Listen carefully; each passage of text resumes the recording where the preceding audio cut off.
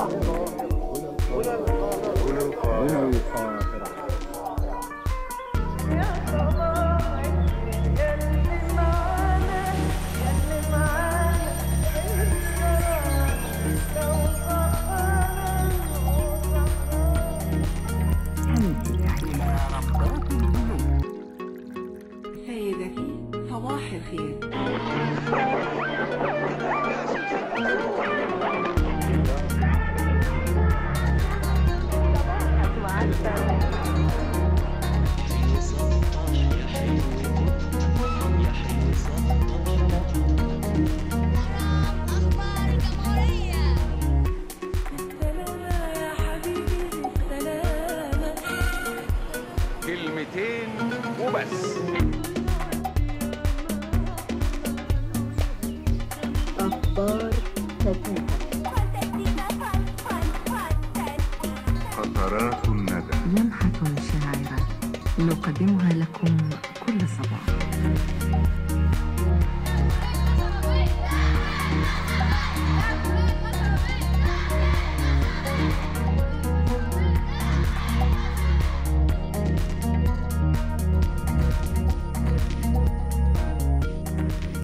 صباح الخير والسعادة على كل المصريين اللي بيشوفونا على شاشة التلفزيون المصري.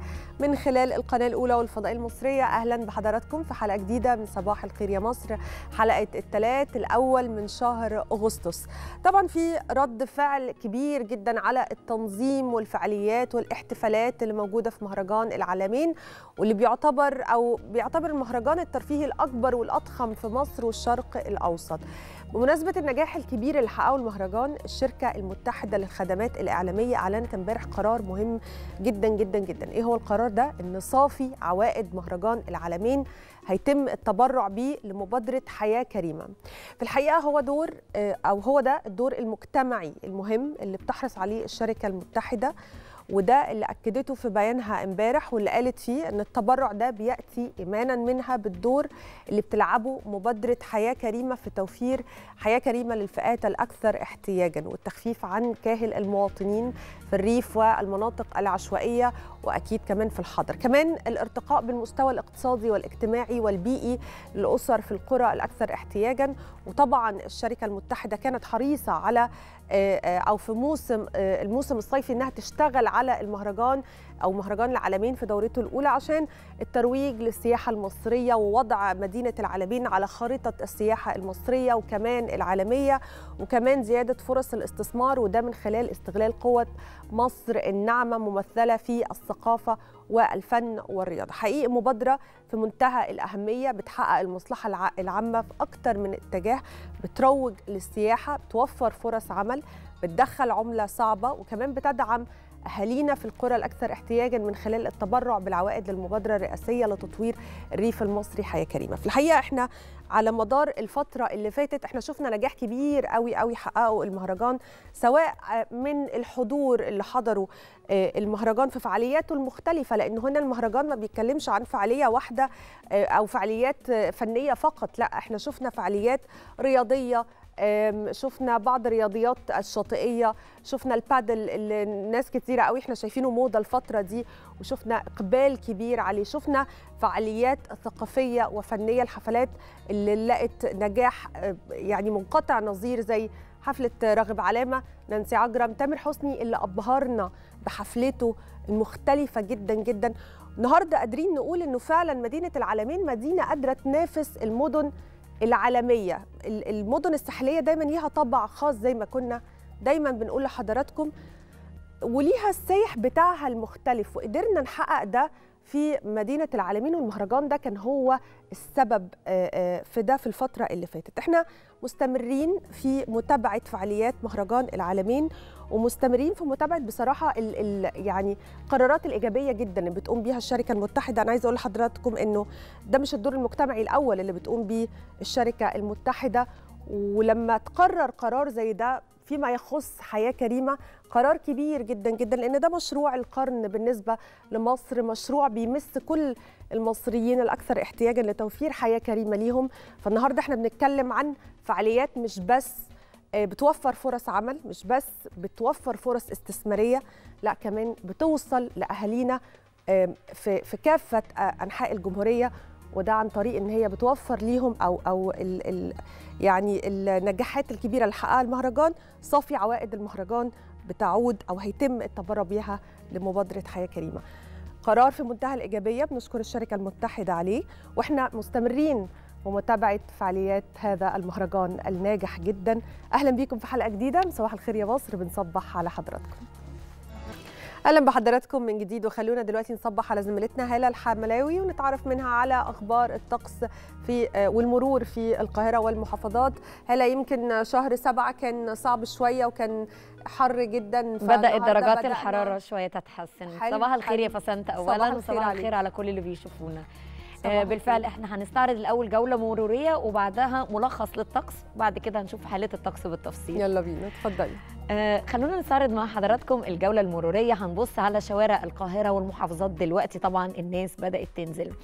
هنبدأ من محافظة القاهرة. الكثافات بتزيد مع دخول ساعات الذروة الصباحية. لو بدأنا من الكورنيش هنلاقي كثافات مرورية متقطعة من المظلات باتجاه منطقة وسط البلد. أما الكورنيش المتجه للمؤسسة ففيه هناك سيولة مرورية. بالنسبة لكوبري أكتوبر المتجه للعباسية هنلاقي هناك كثافات مرورية متقطعة لغاية غمرة. أما اللي مكمل في اتجاه العباسية فهنلاقي كثافات بسيطة بتزيد مع ساعات الذروة الصباحية. في كمان كثافات أخرى في الاتجاه العكسي الثاني لكوبري أكتوبر بسبب زيادة أحمال السيارات. كذلك الأمر المتجه من ميدان التحرير لمدينة نصر ومحور النصر وصولا للمنصة. ظهرت كمان بعض الكثافات المتحركة بشارع عباس العقاد والطيران وصولا للدائري. ولو تابعنا شارع صلاح سالم هنلاقي إن هناك برضو في بعض الكثافات بالتزامن مع نزول الموظفين.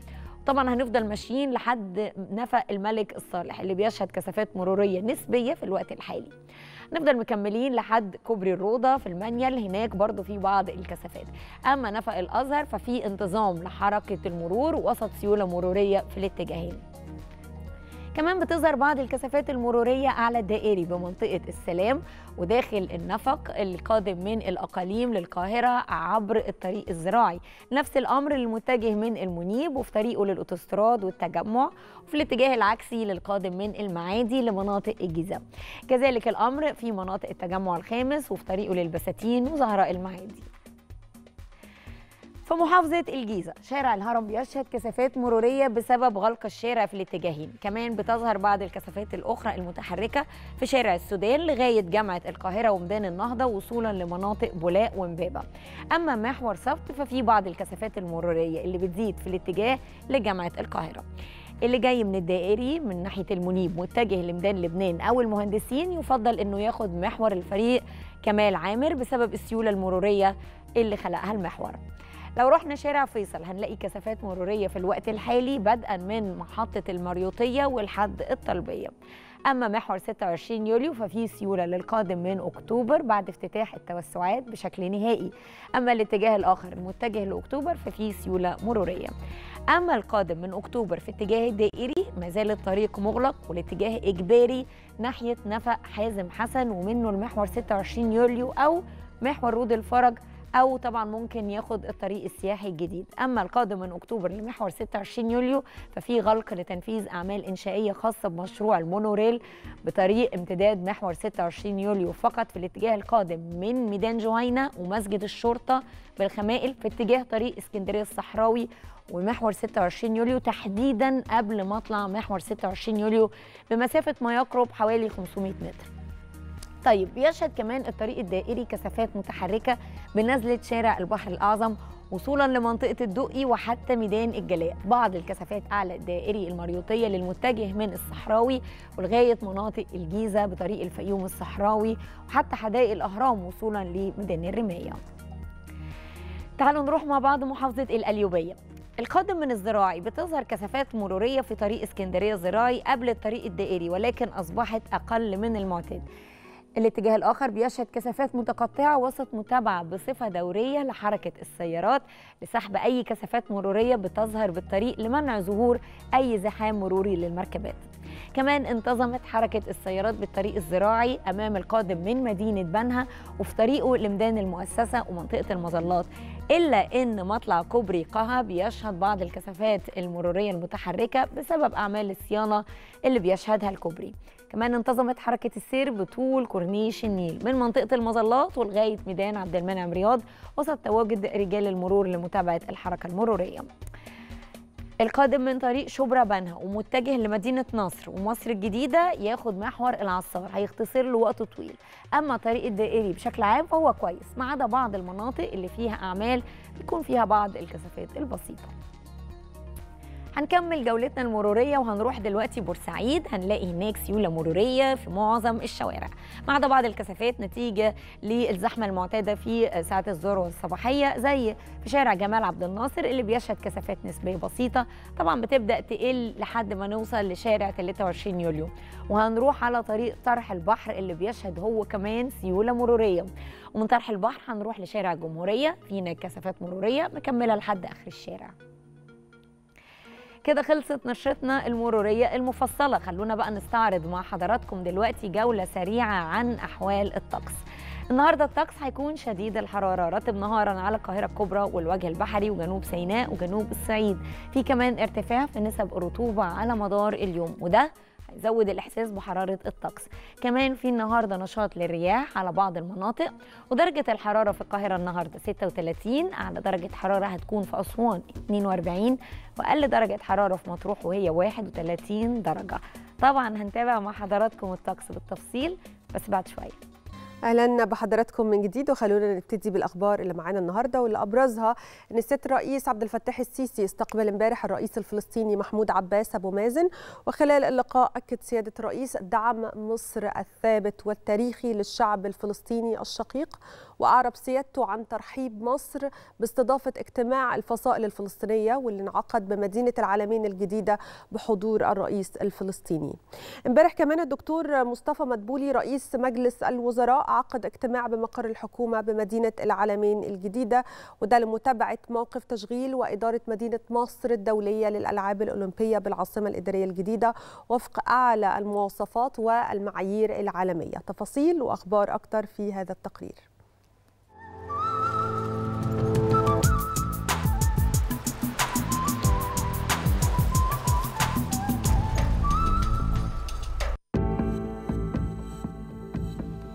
أخبار وأحداث مهمة حصلت امبارح. أبرزها استقبال الرئيس عبد الفتاح السيسي الرئيس الفلسطيني محمود عباس أبو مازن.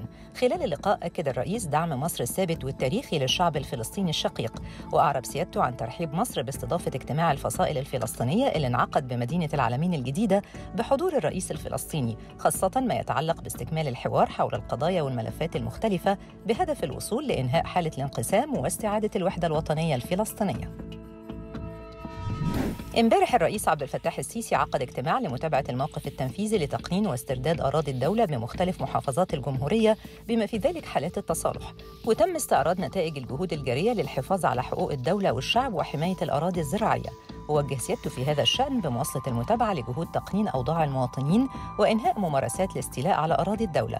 مشددا في هذا الصدد على ضرورة منع المزيد من التعديات بالتوازي مع سرعة الانتهاء من إجراءات التقنين بما يحقق مصالح المواطنين والمصلحة العامة. امبارح عقد الدكتور مصطفى مدبولي رئيس الوزراء اجتماع بمقر الحكومة بمدينة العالمين الجديدة لمتابعة موقف تشغيل وإدارة مدينة مصر الدولية للألعاب الأولمبية بالعاصمة الإدارية الجديدة. خلال الاجتماع أكد رئيس الوزراء أن مدينة مصر الدولية للألعاب الأولمبية تعد إحدى الصروح الرياضية المتميزة اللي أنشأتها الدولة المصرية في الآونة الأخيرة وبتمثل إضافة كبيرة للمنشآت الرياضية اللي بتتميز بها مصر وتسهم في استضافة كبرى الفعاليات والأحداث والبطولات الدولية وده بيتطلب الاستعداد الجيد لإدارتها وتشغيلها وفق أعلى المواصفات والمعايير العالمية لإدارة المنشآت الرياضية امبارح عقدت لجنة إدارة الأزمات اجتماعها بمقر مجلس الوزراء بالعاصمة الإدارية الجديدة لمتابعة خطة تخفيف الأحمال الكهربائية على مستوى الجمهورية وتنفيذ الإجراءات اللي أعلن عنها الدكتور مصطفى مدبولي رئيس الوزراء في إطار التعامل مع ملف تخفيف أحمال الكهرباء نتيجة الارتفاع الشديد في درجات الحرارة في ظاهرة غير مسبوقة. امبارح ألقى الدكتور مصطفى مدبولي رئيس الوزراء الكلمة الافتتاحية لمؤتمر المصريين في الخارج في نسخته الرابعة بمشاركة نحو ألف مصري حضروا من 56 دولة. وأكد مدبولي في كلمته أن الدولة المصرية بمختلف أجهزتها ومؤسساتها تعمل جاهدة من أجل توفير كل سبل الدعم والمساندة لأبنائها بالخارج وتسعى دوما للتعرف على متطلباتهم والعمل على حل أي مشكلات تواجههم سواء بدولة الإقامة أو داخل الوطن. بالإضافة للحرص على تيسير سبل ربط المصريين في الخارج بالوطن الأم وتعزيز انتماء أبناء الجيلين الثاني والثالث من الشباب والنشء بمصر والوقوف على جهود التنمية وما تحققه الدولة المصرية من إنجازات لبناء الجمهورية الجديدة.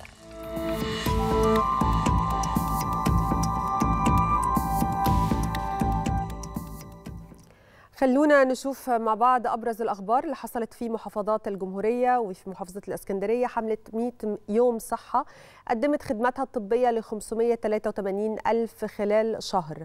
وفي شمال سيناء تم تجهيز مكتب التنسيق الإلكتروني بجامعة العريش لاستقبال الناجحين في الثانوية العامة. ألف مبروك ليهم. وكمان في بورسعيد تم الإعلان عن زيادة المساحة المنزرعة بالمحاصيل الصيفية. 14 ألف فدان عن العام الماضي. وفي جامعة أسيوط تم إطلاق فعاليات أسبوع لا للمخدرات وده لتوعية الطلاب بمخاطر المخدرات وطرق الوقاية من تعاطيها. تفاصيل وأخبار أكثر من المحافظات المصرية في سياق هذا التقرير.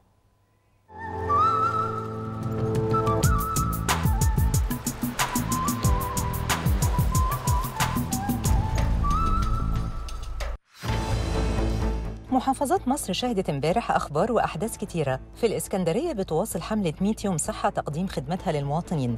وأكدت مديرية الصحة إن إجمالي الخدمات الصحية المقدمة في إطار الحملة القومية خلال ال 30 يوم اللي فاتوا بالمحافظة بلغت 583548 مواطن.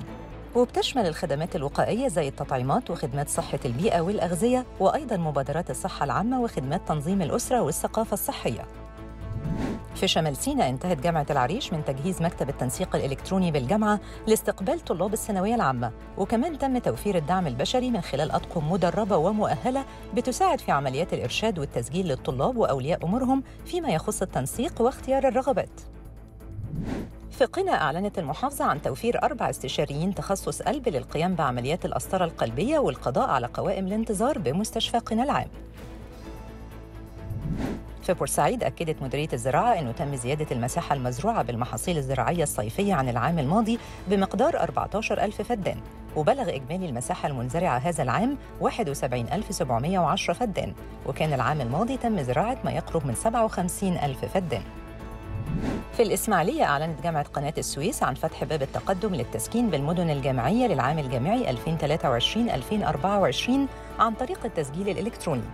وبتشمل مواعيد التقديم للطلاب القدامى اعتبارا من اليوم 1 أغسطس وحتى الثلاث 8 أغسطس الساعة 2 الظهر. أما الطلاب المستجدين الفرقة الأولى فيبدأ التقديم اعتبارا من يوم الجمعة 1 سبتمبر وحتى يوم الجمعة 15 سبتمبر. في جنوب سيناء استقبل دير سانت كاترين 700 سائح من مختلف جنسيات العالم لزيارة المعالم السياحية اللي بيحويها الدير منها الكنيسة الكبرى وكنيسة الجماجم وشجرة العليقة ومكتب الدير ومتحف الكنوز الأثرية والمسجد الفاطمي وبيشهد الدير إقبال كبير من قبل السائحين.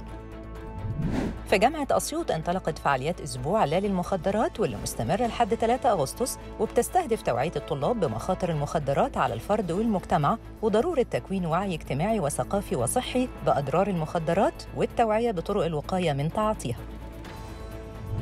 في كفر الشيخ أكدت مديرية الصحة أن مستشفى الجلدية قامت خلال الأسبوع الماضي بتوقيع الكشف الطبي على 6399 مواطن مع توفير الأدوية للمرضى. هنروح لفاصل سريع ونرجع من بعده نكمل بقية فقراتنا. خليكم معنا.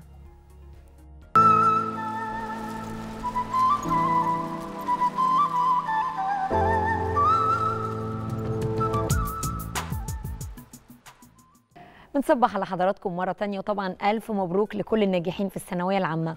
هيئة الأرصاد بتتوقع أن النهاردة الطقس هيكون شديد الحرارة رطب نهارا على القاهرة الكبرى والوجه البحري وجنوب سيناء وجنوب الصعيد حار على السواحل الشمالية وبالليل الجو هيكون مائل للحرارة رطب على كل الأنحاء.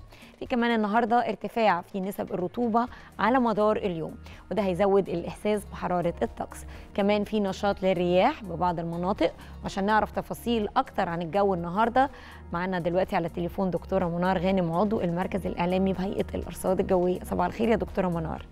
صباح الخير على حضرتك أستاذة هالة وصباح الخير على كل السادة المشاهدين. أهلا بك يا فندم. أهلا بحضرتك. يعني يمكن هو الطقس اليومين اللي فاتوا كان أفضل شوية من الأسبوع اللي فات ولكن آه لغاية إمتى هتفضل آه يعني موجة الطقس الحار مستمرة معانا ولا هتنتهي قريب؟ بس إحنا بالفعل بدأت درجات الحرارة من بداية الأسبوع ده تتحسن بشكل كبير عن الأسبوعين الماضيين. حقيقي. بدأنا نسجل قيم درجات حرارة منخفضة لكن طبعا استمرار لارتفاع نسب الرطوبه نسب الرطوبه مرتفعة في الجو. فعشان كده هي اللي بتخلينا نحس إن الأجواء ما بين الحاره الرطبه أو شديده الحرارة الرطبة لأن إحنا نعتبر في ذروة فصل الصيف. خاصة كمان إن إحنا شهر 8 بيبقى في ارتفاع كبير في نسب الرطوبة. بنقول عليه فصل الصيف بسبب الارتفاعات الكبيرة في نسب الرطوبة. فإحنا لسه مكملين في الأجواء دي على مدار شهر 8 اللي إحنا رجعنا الأجواء الصيفية المعتادة. جو الصيف المعتاد اللي تبقى درجات الحرارة فيه حول المعدلات أو أعلى من المعدلات مع. ارتفاع نسب الرطوبة. لأن إحنا لسه بنتاثر بامتداد منخفض الهند الموسمي اللي أغلب الأحيان بيكون معاه كتل هوائية قادمة من على البحر المتوسط فبتحمل بكميات كبيرة من بحور المية فده بيؤدي لارتفاع في نسب الرطوبة وأحيانا بتتجاوز ال 90 وال 95% على المناطق الساحلية بتتجاوز ال 85% على القاهرة الكبرى وهي دي اللي بتخلينا نحس بقيم درجات حرارة أعلى عن قيم درجات الحرارة المسجلة أو المتوقعة في الظل بحوالي 3 ل 4 درجات. مم. يعني إحنا النهارده متوقع عظمى على القاهرة الكبرى 36 درجة مئوية نحسها لو تكن 39 أو 40 درجة مئوية بسبب وجود نسب رطوبة في الجو. لكن انخفاض قيم درجات الحرارة لأن إحنا بنتأثر في طبقات الجو العليا بوجود امتداد لمنخفض جوي. المنخفض الجوي ده أدى لانخفاض درجات الحرارة وكمان ما بيخليناش نحس بشكل كبير بنسب الرطوبه لأن بيوزع الرطوبة اللي موجوده في عمود الهواء ككل فبالتالي أجواء اليوم هتكون أجواء شديدة الحرارة رطبة على القاهرة الكبرى ومحافظات الوجه البحري ومحافظات شمال وجنوب الصعيد وأيضا جنوب سي- سيناء. أجواء حارة رطبة على المناطق الساحلية المطلة على البحر المتوسط. ده فترات النهار. فترات الليل مع غياب أشعة الشمس أيضا بدأت درجات الحرارة الصغرى تنخفض. بدأنا نحس بنسبة هواء لطيفة كده فترات المساء وساعات الليل. لكن. لسه مكملين برضو في الأجواء المائلة للحرارة الرطبة فترة الليل في معظم أنحاء الجمهورية. الأجواء دي على الأقل مكملة معانا على مدار هذا الأسبوع. يعني إحنا على مدار هذا الأسبوع متوسط درجات الحرارة العظمى على القاهرة الكبرى في الظل ما بين آه، 36 و 35 درجة مئوية. مع بداية الأسبوع اللي جاي يوم السبت ممكن ترتفع بحوالي درجة وتكون 37 درجة مئوية لكن هي الأجواء الصيفية المعتادة واللي زي ما قلنا متوقع إن هي ممكن تكمل معانا على مدار شهر 8 مع بدايات شهر 9 يبدأ يتراجع منخفض الهند الموسمي تدريجيا ويبدأ إن نبدأ إحنا نحس بنسب رطوبة أقل وتدريجي درجات الحرارة بتبدأ تنخفض لأن إحنا خلاص بنبقى بنقترب من بدايات فصل الصيف. تمام. طيب هل في ارتفاع لدرجات الحرارة تاني خلال هذا الأسبوع؟ خلال هذا الأسبوع مش هيكون في ارتفاعات ملحوظة في درجات الحرارة يعني إحنا بنقول متوسط درجات حرارة آه، على القاهرة الكبرى في الظل ما بين آه، 35 36 محطوطه ما بين 38 و 39 مم.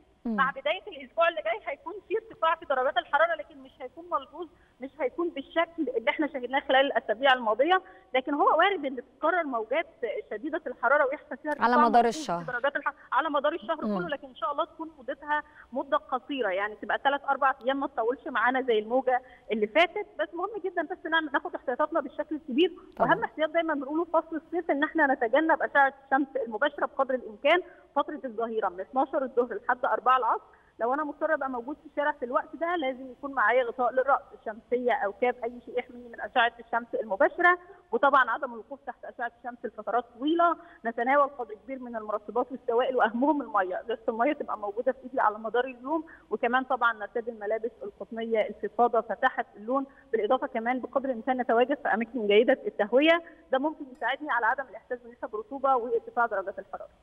أكيد طبعا وبنشكر حضرتك دكتورة منار غانم عضو المركز الإعلامي بهيئة الأرصاد الجوية. تعالوا مع بعض دلوقتي نتابع درجات الحرارة المتوقعه النهارده. في القاهرة درجة الحرارة العظمى 36 الصغرى 25 وهي أيضا نفس درجة الحرارة في العاصمة الإدارية 36 25 الإسكندرية 33 23 أيضا في العلمين الجديدة 33 23 مطروح العظمى فيها 31 والصغرى 22 ودمياط 32 23 بورسعيد 33 23 والإسماعيلية 37 والصغرى 25 نروح للسويس هنلاقي درجة الحرارة العظمى فيها 36 والصغرى 25 والعريش 32 24 كاترين 33 18 وطابة 36 25 حلايب 36 30 شلاتين 39 29 شرم الشيخ 39 29 والغردقة 38 29 في الفيوم العظمى 37 والصغرى 24 وبني سويف 37 24 أيضا. في الوادي الجديد 42 25 وأسيوط 39 25 سوهاج 40 25 وقنا 42 26 الأقصر 41 27 وأسوان العظمى 42 والصغرى 28 كده خلصت نشرتنا الجوية المفصلة. عودة مرة أخرى لبسنت واستكمال باقي فقرات صباح الخير يا, يا, مصر. وطبعا عودة ليكي يا بسنت أخبار النهاردة. بشكرك. شكرا ليك يا هالة. وزي ما انت قلتي فعلا هنشوف مع بعض دلوقتي أهم الأخبار اللي هتحصل النهارده من خلال التقرير اللي جاي.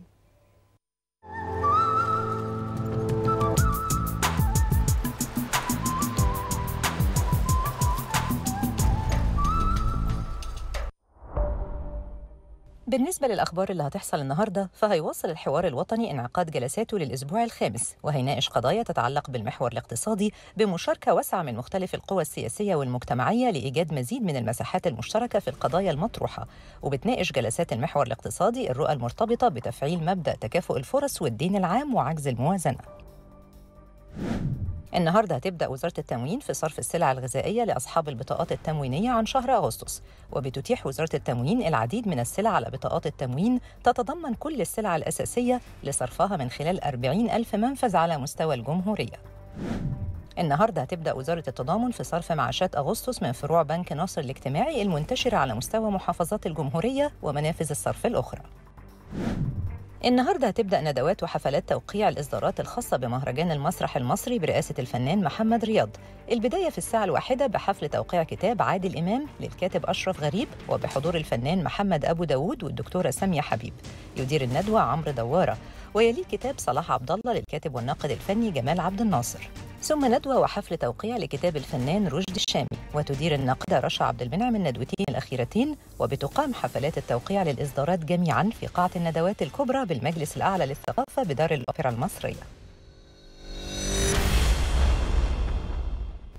طبعا كلنا بقالنا فترة كبيرة جدا في حالة تأهب شديدة عايزين نعرف يعني يمكن حد من عندنا في عيلتنا أو في بيتنا أو آه، في محيطنا عامة هو طالب في الثانوية العامة وكلنا قلقانين عليه عايزين نعرف أخبار النتيجة إيه. فطبعا امبارح كان يوم إعلان نتيجة الثانوية العامة وكان في حالة من البهجة والسعادة عند أوائل الثانوية العامة وكل اللي نجحوا طبعا ألف ألف مبروك ليكم كلكم وألف مبروك لأهاليكم لأن هم تعبوا زيكم بالظبط. يعني يمكن كلنا بنهني الطلاب دايما على نتائجهم في الثانوية العامة ومجهودهم وتعبهم طول السنة لكن خلونا ما ننساش كمان آه، مجهود الأهالي اللي بيبقوا على أعصابهم طول آه، السنة مع أولادهم بيحاولوا يوفروا ليهم يعني ال- الجو المناسب عشان آه، يعني يتفوقوا وينجحوا ويقدروا يحققوا آه، اللي هم نفسهم فيه. خليني أقول إن آه، آه، أوائل الثانوية العامة تلقوا مكالمة من وزير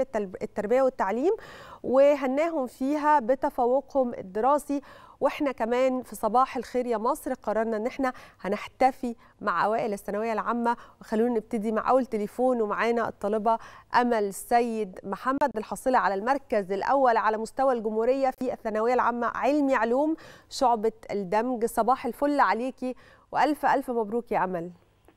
أنا ازيك حضرتك يعني أنا مبسوطة بيكي جدا جدا فمش متخيلة فرحة أهلك هتبقى عاملة إزاي دلوقتي. فرحة يعني المحيطين بيكي النهارده. قولي لي كده باباكي ومامتك أول ما عرفوا إن انت الأولى عملوا إيه؟ بصراحة هي كانت فرحة كبيرة أوي بصراحة ويعني يعني أنا أول ما عرفت الخبر يعني حسيت بجد إن هو ربنا جاب خاطري بجد وعوضني يعني الحمد لله بجد حسيت إن ربنا رضاني وبجد مبسوطة جدا يعني إحنا استقبلنا الخبر كنا بالليل وجالي آه، جا- جه تليفون من مكتب الوزير. وكنا آه، كانت آه، كنا بالليل فوالدتي كانت نايمة ووالدي أساسا كان في الشغل فلما لما استقبلت المكالمة فبصراحة من فرحتي أنا صرخت بصراحة طب قولي لي آه، قولي لي وانت. قاعدة كده في البيت وجات لك المكالمة ترفعي السماعة لقيتي آه، ست الوزير بيكلمك بيهنيكي على تفوقك. آه، مامتك لما عرفت إن الوزير معاكي التليفون عملت إيه؟ هي ماما فرحت جدا. يعني أنا من فرحتي آه، اتخضيت وبقول لحضرتك صرخت واديت التليفون لماما وهي اللي كملت. يعني ماما بجد فرحة مش حسيت بجد إن الحمد لله ربنا عوضني وعوضهم على الصبر وال... وعلى بجد. على كل اللي اتحملناه والله. الحمد لله. كفاية إن الحمد لله شرفتهم زي ما كان نفسي. ألف مبروك ليكي. يعني طيب أنا عايزة أعرف انت بتقولي آه، آه، ربنا يعني جبر بخاطرك ف وكل اللي انت اتحملتيه قولي لي ابتديتي تستعدي إمتى للثانوية العامة؟ كثفتي المذاكرة إمتى؟ إيه الصعب اللي كان بيقابلك؟ احكي لي كده. عايزة أعرف ال... يا جماعة ال- الناس الأوائل دي بيعملوا إيه؟ يعني نفسي أعرف يعني ما شاء الله عليكي عملتي إيه عشان تستعدي؟ هو بصراحة أنا يعني حاجة زي كده حتى لو كان يعني حاجة زي كده بصراحة ما كنتش متوقعاها خالص. الحمد لله من نعم ربنا وفضل ربنا وجبره لأن تعبت كتير قوي. في بداية السنة ما كنتش متخيلة إن أنا هعمل عملية. أنا خلصت العملية بتاع ظهري قلت خلاص مش هعمل عمليات تاني. فاستو... يعني اتصدمت إن أنا في عملية كمان. آه لا لازم هعملها. عملتها في شهر عشرة و يعني قفلت كده على الدراسة شهرين. ما كنتش آه، ما ما كنتش عارفة أذاكر. وبعدين رجعت ذاكرت تاني شهر آه، عشان ألحق ألم المتراكم عليا كانت حاجات كتير أوي متراكمة عليا. وبعدين جالي شد عضلي شديد لأن المفروض أكون قايمة من العملية المفروض ما كنتش أتعرض للضغط ده كله. ف جالي بقى شد عضلي شديد فضلت من شهر واحد عدى آخر يوم في الامتحانات كنت بذاكر وأنا نايمة. يعني وبجد اللي كان ليها كمان فضل في ال- في مساعدتي في الفترة الكبيرة دي كانت الدكتورة اعتدال الشربيني كانت بجد كانت بتعملي جلسات علاج طبيعي وكمان كانت داعم نفسي كبير أوي ليا بالنسبة لي. يعني أنا بجد بحب أشكرها كمان أهلي وأختي وأخويا ووالدي ووالدتي بجد كانوا كمان داعمين نفسيا جدا بالنسبة لي. لا، فالحمد يعني لله الموضوع الفترة صعب. دي كلها. لا لا صعب لله. فعلا اللي أنت مريتي بيه أمل يعني أنت كويسة دلوقتي طيب؟ الحمد لله بحاول بقى اللي هو أمنع القعدة شوية ومح- وأريح يعني على المفروض التعليمات اللي كنت المفروض إن أنا أمشي عليها. سلامتك ألف الحمد سلامة لله عليك. بجد يعني. سلامتك وزي ما أنت قلتي ربنا كمل مجهودك. جبرني الحمد لله. ربنا عوضني بالظبط. يعني. طب أنا لما عرفت خلاص ما كنتش متخيلة يعني الحمد لله. ألف سلامة عليكي والحمد لله على سلامتك وألف مبروك. لكن عايزة أعرف منك عايزة. تعملي إيه يعني؟ إيه كل اللي أنت عايزة توصلي لها؟ هو أنا أساسا كان من وأنا صغيرة كان نفسي أنا آه، كان نفسي في كلية صيدلة يعني والحمد لله حققتها وكان بابا كان نفسه برضه أوي إن أنا أدخل كده هو ما كانش بيجبرني هو كان نفسه إن أنا أخشها. الحمد لله حققت أمنية والدي ووالدتي و...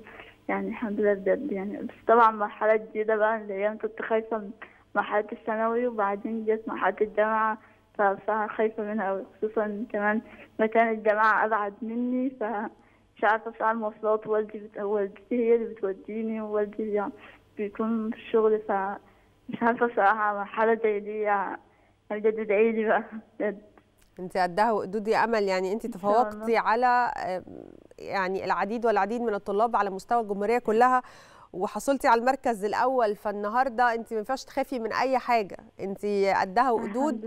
وهتكملي وهتقدري وهتنجحي وهتتفوقي في الجامعة كمان والحمد لله إن. ربنا كلل مجهودك بعد كل التعب اللي انت شفتيه آه، بالنجاح وبالتفوق وهتدخلي إن شاء الله الكلية اللي انت عايزاها وتحققي حلمك وحلم باباكي. وبنبارك لك ألف ألف مبروك. آه، يبارك يا أمل. أمل سيد محمد الحاصله على المركز الأول على مستوى الجمهورية في الثانوية العامة علمي علوم شعبة الدمج. مبروك يا أمل مرة تانية. لسه مستمرين طبعا في احتفائنا بطلاب الثانوية العامة اللي في الحقيقة مشرفينا يعني كمان معانا طالبة تانية آه، عبر الهاتف دلوقتي هاجر محمد إبراهيم الحاصله على المركز الأول على مستوى الجمهورية. آه، للمكفوفين ألف ألف مبروك ليك يا هاجر. الله يبارك في حضرتك. ألف مبروك يا هاجر. يعني تفوقتي على زملائك من الطلاب على مستوى الجمهورية. إيه كان رد فعلك لما عرفتي إنك من أوائل الثانوية العامة؟ الحقيقة يعني كانت مفاجأة وصدمة كبيرة يعني ما كنتش طبعا أكيد أتوقعها. طيب إيه، احكي لي يا هاجر يعني أنا دايما ببقى عايزة أعرف كده الطلاب ال- الناجحين والمتفوقين بيعملوا إيه؟ إيه الظروف اللي واجهتك خلال دراستك؟ يعني أنت أنت دلوقتي يعني الموضوع بالنسبة لك كان كان عامل إزاي؟ كنت بتقضي آه، وقت قد إيه بت بتذاكري؟ تحكي لي. آه، الحقيقة كنت عادي بذاكر مذاكرة عادية زي زي أي حد. آه، يمكن يعني يمكن أقل منهم والله بس آه، الحمد لله هو توفيق من ربنا طبعا في الأول وفي الآخر الحمد لله إيه الامتحان اللي كان قدامك يعني حاسة إنه ده كان صعب قوي آه أنا يعني أكتر مادة كنت بخاف منها أصلا الإنجليزي وطبعا يعني كنت طالعة من الامتحان وأنا خايفة يعني. مم. طب واحكي لي عن يعني أكتر حد كان داعم ليكي يعني في الفترة بتاعت الثانوية العامة يعني إحنا دايما بنقول إن الأهالي هم بيعيشوا فترة الامتحانات زيهم زي الطلاب بالظبط لأنه الموضوع بيبقى ضغط نفسي على البيت كله مش بس على طالب الثانوية العامة.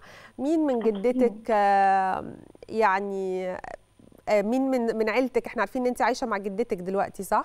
مين من عيلتك كان بيدعمك الفترة اللي فاتت؟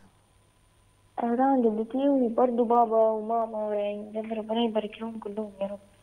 كلهم يستحقوا. الشكر والتقدير. يا رب. طب انت إيه اعلى درجة جبتيها في مادة إيه يا هاجر؟ التاريخ والجغرافيا كنت مقفلة فيهم الحمد لله. الحمد لله. بتحبي التاريخ عامة؟ سبحان الله ما بحبش التاريخ بس ما أعرفش قفلت فيه إزاي. سبحان طيب الله ال- إيه الجامعة اللي انت عايزة تدخليها؟ إيه الكلية اللي انت حابة تدخليها؟ ان أنا اكمل ألسن ألماني. ألسن ألماني. إشمعنى ألماني؟ بحب اللغة أصلا جدا. ألف مبروك ليك يا هاجر. بنشكرك هاجر محمد إبراهيم الحاصلة على المركز الأول على مستوى الجمهورية للمكفوفين. ألف ألف مبروك ليكي. في الحقيقة أنت يعني سواء هاجر أو أمل أنتوا الاثنين نموذج من آه، يعني النماذج ال- ال- اللي بتدي كده أمل و- ودافع للأمام لأي حد يعني أمل كانت بتحكي لنا إن هي دلوقتي كانت قعدت فترة كبيرة جدا تعبانة وبتتعالج ويمكن كانت قاعدة على السرير وهي بتدرس لكن قدرت إن هي تحصل على المركز الأول. كمان هاجر آه، يعني رغم طبعا يعني إن هي الموضوع ممكن بالنسبة لها يبقى أصعب شوية لكن ده ما وقفهاش وخلاها. تنجح وتتفوق على العديد والعديد من يمكن ال- الشباب اللي ممكن يكونوا حالتهم طبيعية جدا وكويسة جدا وأهالي بتصرف فلوس كتيرة جدا عشان الطلاب تتعلم. وتوصل وتنجح. آه، لكن ممكن يكونوا شوية مش مهتمين قوي. النهارده شفنا نماذج لطلبة آه، وطالبات آه، ناجحين وشاطرين ومتفوقين. ألف ألف مبروك ليك يا ويا أمل ويا هاجر. وكل أوائل الثانوية العامة كل اللي نجحوا في الثانوية العامة السنة دي ألف مبروك ليكم. وإن شاء الله مزيد من التفوق ومزيد من النجاح وتحققوا اللي أنتم عايزينه. مشاهدينا دلوقتي الساعة 8 دقت ساعة الموجز. اتفضل يا هالة. شكرا بسنت الثامنة صباحا بتوقيت القاهرة الخامسة بتوقيت جرينتش موجز الأخبار من التلفزيون المصري. أهلا بكم.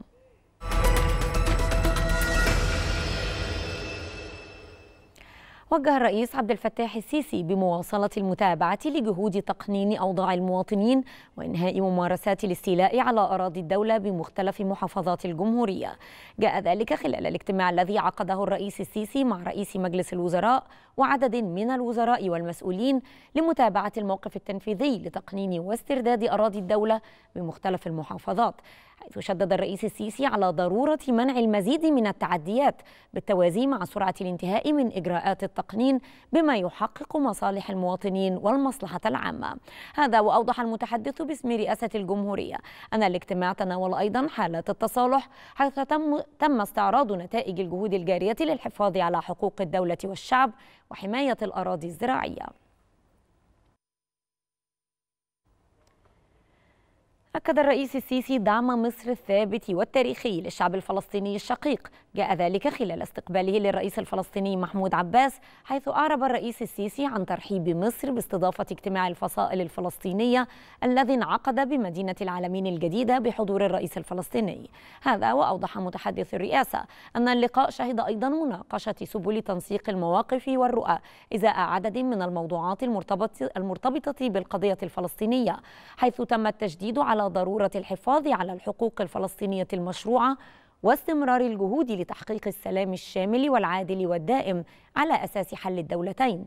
من جانبه توجه الرئيس الفلسطيني بخالص الشكر والتقدير للرئيس السيسي على استضافة مصر لهذا الاجتماع المهم واحتضانها التاريخي للقضية الفلسطينية ولشواغل الشعب الفلسطيني.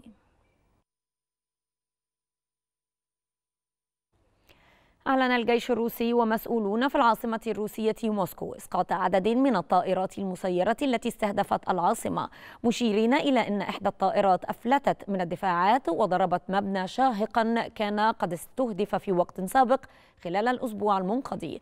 وقالت وزارة الدفاع الروسية أن قواتها أحبطت هجوما إرهابيا على حد وصفها من قبل نظام كييف وأسقطت طائرتين مسيرتين في الضواحي الواقعة إلى الغرب من وسط المدينة. وأضافت وزارة الدفاع الروسية أن طائرة مسيرة أخرى أصيبت بأجهزة إلكترونية لاسلكيه وعندما خرجت عن السيطرة تحطمت في منطقة مجمع المباني غير السكنية في موسكفا سيتي. ذكرت وكالة رويترز نقلا عن وكالات أنباء روسية أن ستة أشخاص لقوا حتفهم في قصف أوكراني على مدينة دونسك وقرية في منطقة زابوريجيا.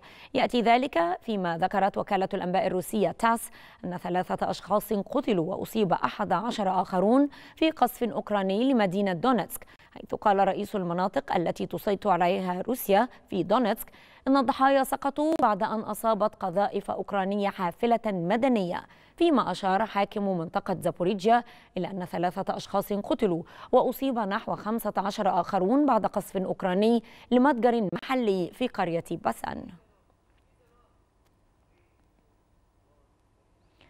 أعلن الجيش الأمريكي أن رئيس هيئة الأركان المشتركة مارك ميلي تحدث هاتفيا مع رئيس أركان جيش النيجر عيسى نيجر عيسى عبد الصديق قبل أيام.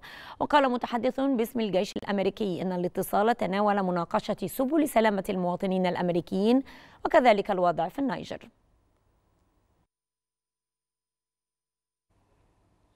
أعلنت الولايات المتحدة أنها ستدعم نشر قوة شرطة متعددة الجنسيات بقيادة كينيا في هيتي متعهدة بأن تقود الجهود في مجلس الأمن الدولي لإصدار التفويض لها.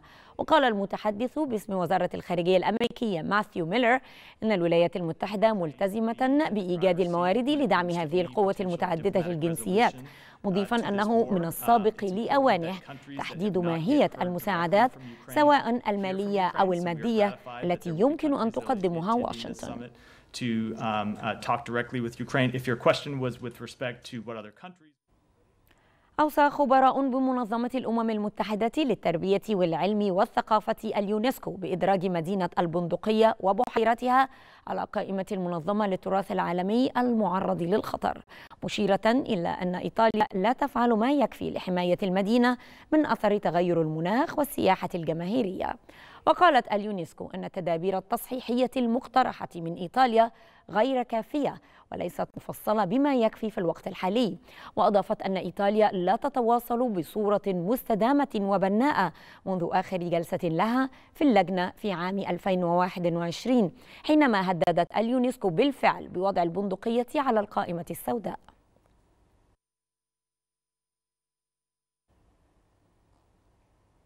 ورياضيا أعلن نادي اتحاد جدة السعودي التعاقد مع الدولي البرازيلي فابينو لاعب ليفربول الإنجليزي. وأوضح اتحاد جدة أن فابينو وقع عقدا مع الفريق يمتد لمدة ثلاث سنوات دون الكشف عن الجوانب المادية. إلا أن تقارير صحفية ذكرت أن ليفربول سيحصل على 45 مليون يورو مقابل بيع فابينو.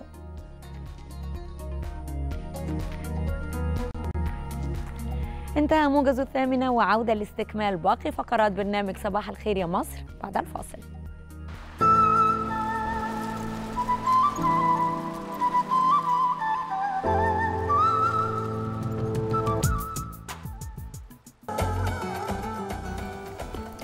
برحب بحضراتكم من جديد وخلونا دلوقتي نتكلم عن موضوع مهم جدا يمكن شاغل العديد من آه، رواج المصايف آه، أو الشواطئ الصيفية. دايما بنلاقي الشباب على البحر كده كل علاقتهم بالسباحة والعوم هو نزول البحر في المصيف وبس. يعني لا هم متعلمين العوم بشكل بروفيشنال ولا هم آه، بيعرفوا يعوموا كويس قوي. آه، يعني لو في أي مشاكل لو في موج عالي وعلى الرغم من كده بتكتشف تصرفات سلبية جدا منهم ممكن لا قدر الله تتسبب في آه، غرق.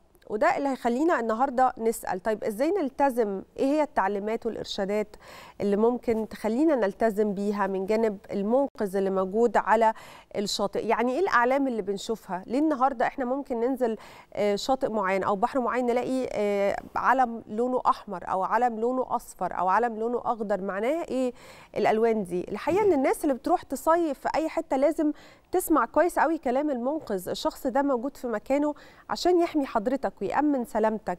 وإرشادات وتعليمات نزول البحر في المصيف هنتعرف عليها النهارده بقى من الدكتور هشام ربيع المدير الفني للإنقاذ بالاتحاد المصري للغوص واللي منورنا النهارده. في صباح الخير يا مصر أهلا صباح بيك يا الخير، فندم. ازي حضرتك أستاذ سنت أهلا بيك يعني. أهلا بيكي. إحنا للأسف كل صيف بنلاقي آه، العديد من آه. الحوادث. آه، شباب صغير بنلاقي إنه تعرض للغرق وبالرغم من وجود بعض الإرشادات اللي ممكن نشوفها على الشواطئ. إزاي شايف سلوكيات بعض الشباب في العوم ونزول البحر عامة في المصيف؟ بص حضرتك الأول صباح الخير على على أم الدنيا صباح الخير على حضرتك صباح الخير على. كل مستمعينا. صباح الخير على الأستاذ الدكتور أشرف صبحي المشرف العام على مبادرة رئاسيه اسمها مصر بالغرقة. آه، صباح الخير على الكابتن سامح شاذر رئيس الاتحاد المصري للغوص والانقاذ وعضو مجلس إدارة الاتحاد الدولي. صباح الخير على كل المهتمين بالمجال. آه، طبعا حضرتك إحنا بالنسبة للأيام اللي إحنا فيها أو آه، أيام الصيف تحت تحديدا إحنا تقريبا في ال في ال في, ال في عمق الصيف. ودايما كل سنة بيحصل عندنا موضوع الحالات الغرق ويمكن دايما يحصل فيها حالة أو حالتين أو حاجات بتسمع بزيادة قوي يمكن الموضوع قل على الأول كتير طبقا للإرشادات أو طبقا للحاجات اللي إحنا شغالين فيها للمبادرة. في مبادرة أطلقها فخامة الرئيس اسمها مصر بلا غرقه المشرف العام عليها الدكتور أشرف صبحي وفيها سبع وزارات. وزارة التربية والتعليم وزارة الصحة والدفاع من أكتر الناس مهتمين بالموضوع الدكتور أشرف صبحي الحقيقة ومركز قوي في الموضوع ده ودايما بيدي دفعة. ووزارة الدفاع.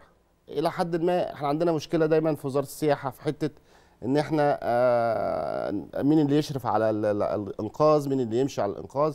حاجات كتير جدا سلبية بتقابلنا لكن في أصل الموضوع إلى حد ما الأمور ماشية.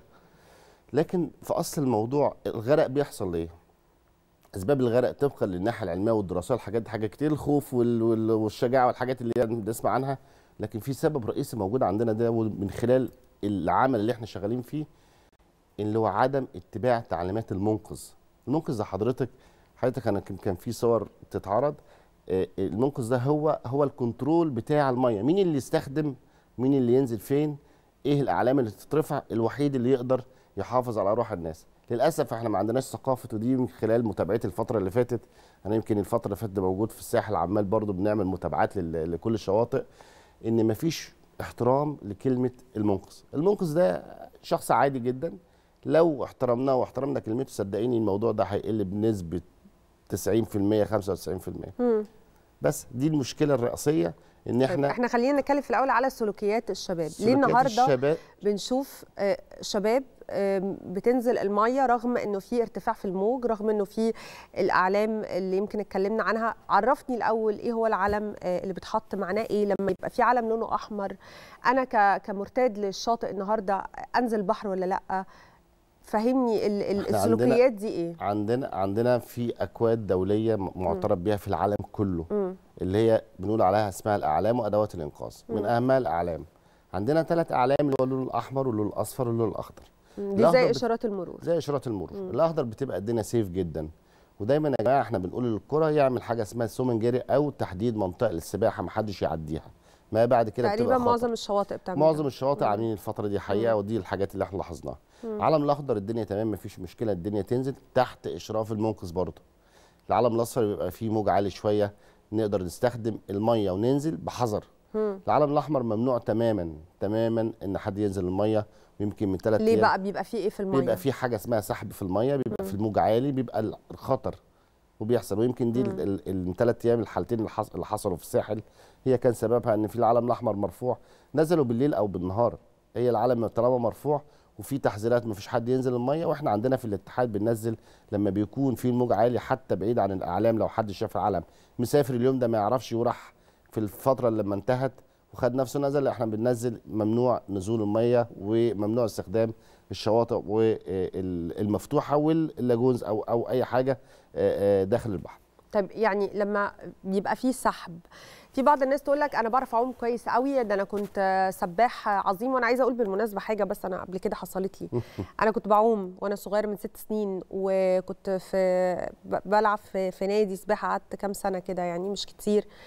لكن مش سباحة لكن كنت. عندي المعلومات الكافية اللي تخليني أنزل المية وأعوم. وفي وقت كان فيه سحب وغصب عنك عضلاتك بتخونك. انت مش هتقدر آه، تقاوم المية لفترة كبيرة قوي انك ترجع تاني. إيه اللي بيحصل؟ يعني هل اللي حصل معايا ده مثلا ممكن يكون بيحصل مع ناس آه تانية؟ طبعا. آه طبعا. مم. بص حضرتك سباح لما ينزل المية اللي بيتعرض للغرق ده المسبحين كتير جدا بيغرقوا. فكرة إن أنا أنزل أعوم هي صراع بيحصل بين سباح وبين مية عشان يوصل لزمن معين. فده ده كان بالنسبة كسباح. واحد نازل استجمام في مية حضرتك فكرة إن أنا أسلم نفسي للمية دي كسباح لو عنده الثقافة دي مش هيتعرض للغرق مم. حتى لو في سحب سحب خدني ودخلني لجوه مش هيعمل لي حاجة فكرة إن أنا أسيب جسمي تماما وإن أنا أسلم ما المس- قاومش. ما قاومش المقاومة دايما كل ما يبقى في مقاومة من الجسم كل ما كثافة الجسم بتزيد كل ما بتعرض حياته للخطر أكتر مم. الغرق ما اختارش مين السباح ومين مش سباح. الغرق بياخد أي حد بالذات في موضوع السحب حضرتك في قرية كنت من أربع أيام يوم ما حصل في ال- ال- ال- حالة الغرق بتاعت بالليل دي. قبلها بفترة كان في سحب حصل خد 18 بني آدم قدام عينيا. طب وح- كويسين؟ آه حصل لهم كويسين؟ وخرجوا. مم. وما شاء الله المنقذين قاموا بدورهم كويس قوي. والمنقذين مؤهلين ومدربين بشكل كويس جدا. الفكرة إن إحنا دايما نتبع تعليمات المنقذ. لو أنا سباح ونزلت المية أو أنا شخص عادي نزلت المية حصل دامج أو حصل ليا المية سحبتني ودخلت جوه سلم نفسك للمية خلاص. سيب جسمك تماما وأنت الموجه هيخرجك بره. مرة في الثانية في الثالثه لحد ما يجي لك يا إما منقذ بأداة يا إما هتلاقي نفسك قربت المكان أمان لحد ما تخرج. ما بتعرفش تعوم ما تدخلش أكتر من اللازم خلي دايما يبقى فيه لك طول. ويوم السحب على فكرة ودي دايما المشكلة اللي بتحصل. حالات الغرق لو في سحب أو في موج عالي حضرتك بتلاقي نفسك على البيتش أو على على الرمل من بره لحد النص جت موجة بقى حضرتك مالكيش طول مم. الموجة اللي بعدها بقت جوه المية. وده بسبب برضه أو دي من ضمن الثقافة. اللي بنقولها للشخصية يا جماعة لما حد ينزل مية يسلم نفسه تماما للمنقذ ويتبع تعليمات ويتبع اتجاهات اللي بيقول له عليها ننزل هنا لا ننزل ما ننزلش هنا يبقى ما ننزلش تماما لأن دايما بيحصل إحنا دايما بن بن بنغذي ال- ال- المنقذين نقول لهم تعمل لما يكون في علم أصفر أو علم أحمر بتعمل حاجة اسمها مسح أول الصبح عشان تطمن إيه الأماكن وأخبار المية إيه عشان تبدأ تعمل تقضي يومك تقول للناس ممنوع النزول أو مش ممنوع النزول. طب إحنا غالبا معانا فيديو بيوضح خطورة السحب يعني يا ريت لو نعرضه لو جاهز دلوقتي أو لو يعني لو لسه معناش الفيديو خلينا أتكلم مع حضرتك عن يمكن الدوامات بقى الدوامات اللي الناس كتيرة تقول لك لو انت لقيت نفسك في دوامة آم، سيب سيب آه بيتعرض قدامنا دلوقتي. تمام. هو ده. أو ده ده ده اللي بيحصل تماما دلوقتي آه. في البحر إحنا شايفين. دلوقتي عملية آه، عملية هي عبارة عن أمواج أمواج. ده ده الشكل اللي إحنا بنقول عليه للمنقذين اللي بيحصل تماما الصبحية. مم. المنقذين دول بيحصل لهم تدريب تدريب عملي تدريب اسعافات أولية بيتدرب وده اللي إحنا بننادي بيه لكل القرى السياحية أو مم. كل الفنادق أو كل الشواطئ إن هي تعمل كده على منقذينهم إن هي تطور بأشكال واضحة وصريحة عشان خاطر أقدر أحافظ على المت- المترددين على مسطحات المياه. الدوامة دي حضرتك دي اللي هي أسوأ حاجة أو دي دايما بتحصل موجتين بيقابلوا بعض وبيرجعوا زي اللي بيحصل وقلنا عليه في شاطئ النخيل. تعرف. حضرتك شاطئ النخيل افتتح وشغال السنة دي. بناء على تكليف معالي ال- الوزير ومحافظ اسكندرية بالتكليف للكابتن سامح رئيس الاتحاد وتعامل معاينه وت- وتعامل إرشادات عامة كيفية استخدام المية اللي هناك وكانت دايما مم. هي دي المشكلة دايما موجتين بيقابلوا بعض. يخبطوا ببعض يرجعوا يعملوا كرنت في النص ودي دايما هي اللي بتحصل أو ما فيش بنقول عليها اسمها غسالة بتحصل غسالة في البحر مم. دي ده ده لف- لفظ عام بس هو ده اللي بيحصل إن دايما المية بتعمل دوران حركة دورانية أي حد بتنزل بتاخده بتلف بيه لحد ما بتدخله جوه. ودي حاجات أساسية اللي إحنا بنقول دايما. يا جماعة اللي نتبع إرشادات المنقذ. لو بعد الشر حد اتعرض لدوامة بيقول لك نفسك تماما للمية هو الميه هتوصلك لحته أمان لحد ما تلاقي نفسك يا إما تخرج بره يا إما تلاقي حد لحد ما يجي لك. لكن المقاومة هي سبب الغرق أساسا. ما نقاومش. هل المراقب آه، آه، النهارده أو المنقذ من حقه ياخد آه، إجراء ضد ال- الحد المتهور؟ يعني النهارده في شاب لسه في يعني أوائل عمره وقرر إنه ينزل البحر ايا كان بقى العلم المحطوط قدامه فأنا هنزل وخلاص واللي يحصل يحصل. هل النهارده المنقذ عنده سلطة معينة يوقف الشاب ده عند حده مثلا أو أي حد والله بص إحنا عندنا. عندنا عندنا debate جامد جدا في الحتة دي حتة إن المنقذ يبقى له سلطة ردعية على شيء معين حضرتك عندنا سلطة في الشباب والرياضة عن طريق الدكتور أشرف صبحي موجودة مم. عن طريق في النوادي أو أو مراكز الشباب الدكتور أشرف صبحي من, من أكتر الناس داعمين للموضوع ده ولو في أي report أو أي حاجة بتيجي على النادي أو على مركز شباب بياخد إجراء ضده مم. لكن إحنا عايزين نقول القرى السياحية هل القرى السياحية بتدي سلطات للمنقذ اللي شغال عندهم لما يجي يقول إنه فلان أو أو علان في بعض القرى كويسة بيبقى عندهم حاجة اسمها quality control اللي موجود بيبدأ يبلغ ده فلان الفلاني ما بيتبعش التعليمات بياخد اسمه بياخد رقم ال unit بتاعته بيديله violation ايا كان دي موجودة لكن مش في كل الأماكن الحقيقة. مش في كل القرى ومش في كل الفن هل ده بيحصل؟ إحنا عايزين دعم من وزارة السياحة للموضوع ده. عايزين دعم من ال من ال من ال من هيئة المجتمعات العمرانية عشان الساحل الشمالي يدعمونا أكتر عشان الموضوع ده. إحنا مش عارفين. حضرتك لما إحنا كاتحاد غوص بنروح نقول للقريه ده إرشادات وتوجيهات. في ناس بتستقبلنا وفي ناس ما بتستقبلناش. ما بتستقبلناش مع العلم إن دي اختصاصات الفنية بتاعتنا. إحنا عايزين ندي ثقافة للإدارة. يا جماعة عشان نحافظ على أرواح الناس بتوعك. فلكن دي بتبقى شوية مشكلة مقابلنا طيب النهارده برضو بنشوف من التصرفات والسلوكيات الغلط إنه ممكن أكون آه، أنا بشوف حد مثلا قدامي بيغرق فقرر إن أنا سباحة وأنزل أنقذ الشخص ده.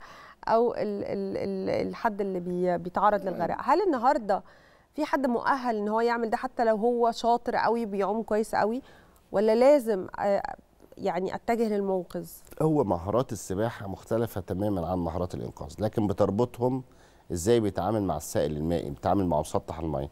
لو حضرتك حد عنده ثقافة طالما المنقذ مش موجود ومحدش نزل له واحد إحنا عندنا عامل إنساني موجود إحنا كمصريين عامل محترم جدا وحاجة كويسة جدا. لو لقيت حد بيغرق بيعرف يعوم ما بيعرفش يعوم دايما بتحصل. بينزل يجيب اللي بيغرق. يا الاثنين يغرقوا يا الاثنين يطلعوا. وده حضرتك دايما أمثلة كتير جدا. لكن أنا لو عندي ثقافة أعرف أتعامل مع ال مع ال مع, ال مع الشخص وما فيش منقذ ما, ما فيش ما يمنع يعني. مم.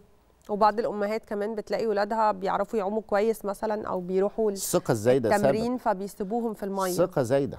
مم. زايدة. دايما بنقول لك سبب من ضمن أسباب الغرق الثقة الزائدة. لكن بيروح التمرين المهتم بالموضوع ده بيروح السباحة بيروح عنده فرقة أو عنده اللي اللي بيبقى مسؤول مسؤولية كاملة عن عن حالة صحية لل- للسباحة وغيره هو المدرب والمنقذ الموجود مش الأم. ودته بقى التمرين قعدت معاه أو ما قعدتش معاه فده مسؤولية المدرب ومسؤولية الجهاز الفني اللي بيشتغل. لكن لو إحنا في البحر لا. يبقى برضو إحنا كالأم وأولياء الأمور يبقى قاعدين قدام أولادهم ودايما عينينا على المنقذ وعينينا على أولادنا. لو في أي حاجة حسيت إن ابني تعرض لخطر بسرعة بنبه المنقذ لو مش واخد باله أو بنبه أي حد يقدر يساعدني لو إحنا على الشواطئ أو على الأماكن المفتوحة. بعيد عن التدريب التدريب كده كده ملناش علاقة بيه هو مدرب بي- بيهتم بيه مدرب بيبقى شايل مسؤوليته لكن في البحر ولي الأمر بيبقى له طبعا له دور كبير جدا وشايل مسؤولية مع الشخص الحارس على الحياة اللي موجود. هل بنشوف بعض القرى يمكن بتستسهل شوية وما تغيرش الأعلام مثلا؟ زي ما في ما بتستسهل ما بتحطش منقذ أصلا. مم. فالأعلام دي إحنا بنشوفها في حوالي 60 70% من القرى السياحية قرى محترمة في قرى محترمة جدا بتهتم منقذ اعداد منقذين بزيادة ويمكن يمكن والمنقذين موجودين صبح وليل؟ بي... بي... الأغلبية 90% أو 99% بيسيب ال security اللي هو اللي بيشتغل بالليل وال lifeguard ما ينفعش يشتغل ليل ونهار. بيشتغل فترة معينة مثلا من الساعة مش شروق الغروب إحنا بنقول من شروق الغروب الساعة 9 الساعة 10 الصبح لحد الغروب وبعد كده بيستلم مكانه الأمن. ده في الأماكن المحترمة اللي هي بتحافظ على ال client بتوعهم أو بيحافظوا على المم أو بيحافظوا على ال owners بتوع القرى السياحية أو الفنادق. الفنادق 90% و99% بيعمل كده. على طول بيسلم الأمن. ال recreation بيمشي أو ال lifeguard بيمشي بيسلم الأمن الأمن بيبقى مسؤول لحد الصبح الصبح بيستلم منه ال lifeguard وهكذا بيحصل. قرى سياحية لا في قرى سياحية ما بتعملش أي حاجة من الكلام ده خالص. والله بيبقى لا في lifeguard ولا في أعلام ولا في أي حاجة من الحاجات دي ولا في حتى توعية بيقول للناس ممنوع. في قرى محترمة ما ننكرش برضو كتير برضو. قرى كده كبيرة معروفة في الساحل أو غيره بيبقى مهتم جدا بيوفر منقذين بأعداد كفاية بوفر أدوات إنقاذ تسعفه. بوفر عربيات إسعاف دايما موجودة في النقط الخطر أو مش غير النقط الخطر. يعني في قرية أنا يمكن موجود شبه متواجد فيها بفترة طويلة دايما عربيات إسعاف. في حاطين ناس quality control يساعدوا ال lifeguard حاطين ناس بيبقى مسؤولة security بيساعدوا ال lifeguard بيبقى دايما بيوفروا كل السبل عشان يأمنوا مسطحات الميه طب حضرتك بما إنك مدير الفني للإنقاذ النهارده لما بتنقذ حد من الغرق غريق بتعمل إيه؟ يعني إيه أول الخطوات اللي بتقوم بيها عشان تنقذ الشخص ده؟ عندنا حاجة اسمها خطوات الإنقاذ ودايما بنديها في دورات تدريبية للمنقذ. اللي يعملها. لازم يعمل زي طبيعي أي بشر لو شاف حد حد شاف حد بيغرق مش منقذ بيعمل إيه؟ أول حاجة بيعمل بيسيح بقى يقول يا جماعة في غريق غريق مش ده اللي بيحصل. آه. مش ده ده ده اللي بنقوله إحنا بن- بنقول للمنقذ نبه. اعمل استخدم آلة التنبيه أداة من أدوات الإنقاذ. ثم بعد كده اختار الطريقة ال- ال- الأسهل والمثلى إن هي ينزل بيها وأقرب طريقة والأسلم ينزل بها للغريق ثم بعد كده بيمسك الغريق ويسحب الغريق ويخرجه ويتعامل معاه.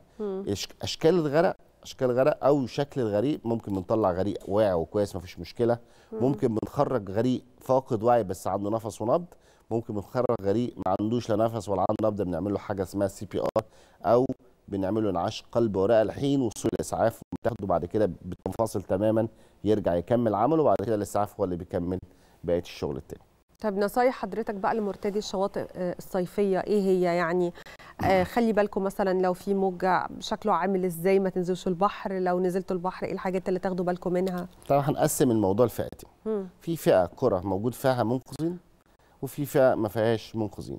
الفئة الأولى اللي ما فيهاش منقذين دول أكثر عرضة لفقدان الحياة دايما بنختار الأماكن اللي هي ما بيبقاش فيها شكل الدوامه اللي اتعرضت من شوية بيبقى فيها موج بيبقى الموضوع بيبقى ساندي تماما أو بيبقى المية ما فيهاش أي مشكلة خالص ما فيهاش موج. لو في الموج عالي أنت حضرتك شايف لما تقف على الرملة من بره وتيجي الرملة بتغطيك بشكل معين المية بشكل معين وبعد كده بتزيد مرة واحدة على طول تماما تبعد عن المية لو الدنيا كويسة هي طالعه نازلة في محيط اللي هو مثلا من الوسط لفوق لتحت ما بتعديش لحد فوق ده دي نقدر نستخدم ميه عادي ما فيش مشكلة خالص.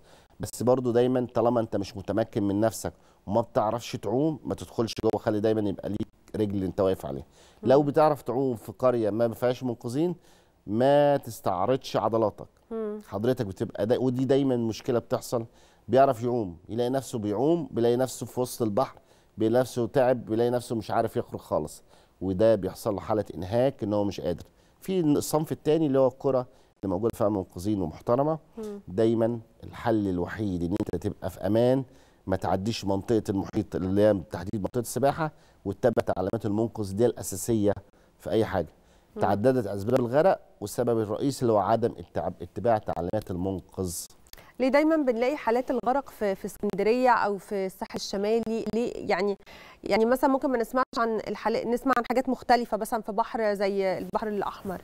بس ليه دايما الموج بيبقى عالي في اسكندرية والساحل الشمالي؟ بحر مفتوح بحر متوسط موجه معروف.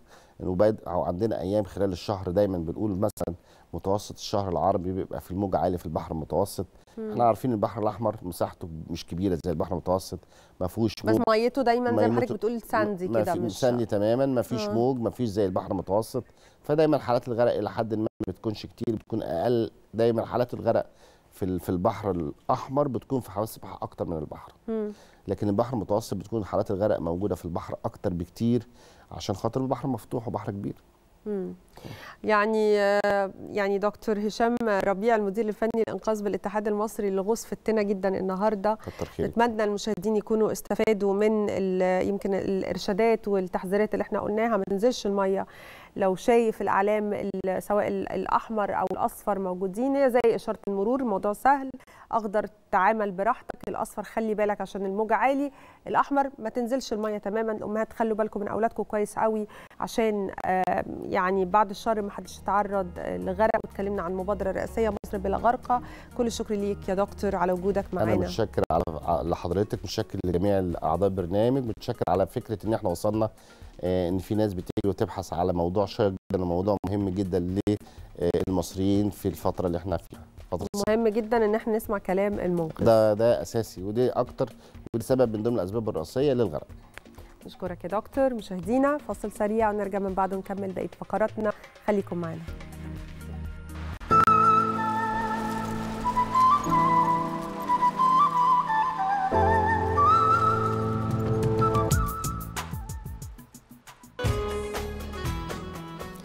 التكنولوجيا عامة من الحاجات اللي يمكن سهلت علينا حياتنا بشكل كبير جدا. يمكن النهاردة لما حد يقول لك تعالى نتقابل في مكان معين المكان ده بعيد عنك أو أنت عمرك ما رحته قبل كده أو أول مرة تشوفه أسهل حاجة بتعملها هو أنك بتطلع موبايلك وتكتب المكان ده وتروحه عن طريق ال GPS طيب هل النهاردة إحنا نقدر نعيش بدون GPS هل ال GPS ده بقى جزء مهم في حياتنا زيه زي التليفون كده والعربية؟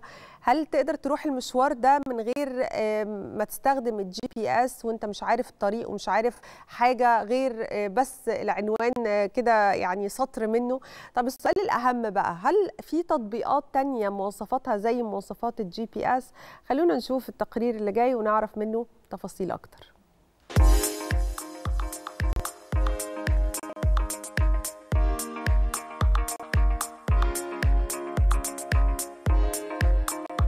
ال GPS موجود في كل مكان ومفيش حد دلوقتي موبايله مفهوش GPS. تطبيق بتقدر تستخدمه علشان توصل للمكان اللي انت عاوزه. كل اللي عليك انك تكتب في خانة البحث العنوان اللي انت هتروحه.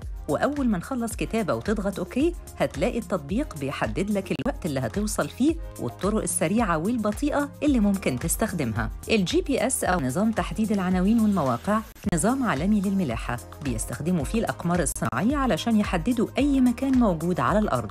ده غير استخداماته التانية في تتبع اللياقة البدنية والصحة وحساب المسافة اللي قطعتها وانت بتمارس الرياضة أو بتمارس بعض الأنشطة البدنية المختلفة.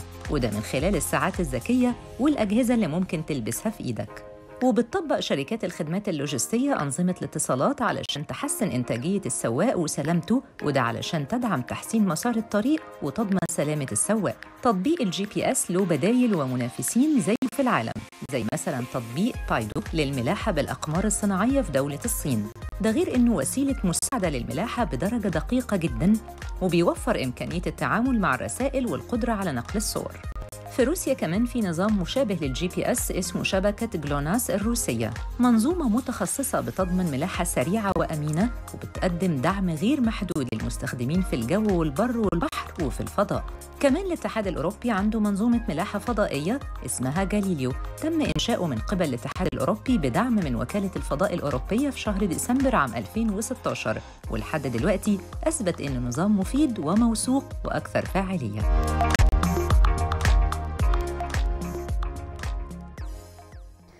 خلونا نعرف تفاصيل أكتر. بنضم لنا دلوقتي عبر تطبيق زوم الدكتور محمد رفعت خبير التحول الرقمي وأمن المعلومات. صباح الخير على حضرتك. أهلا بيك. صباح الخير يا أستاذة بسنت وصباح الخير على كل السادة المشاهدين.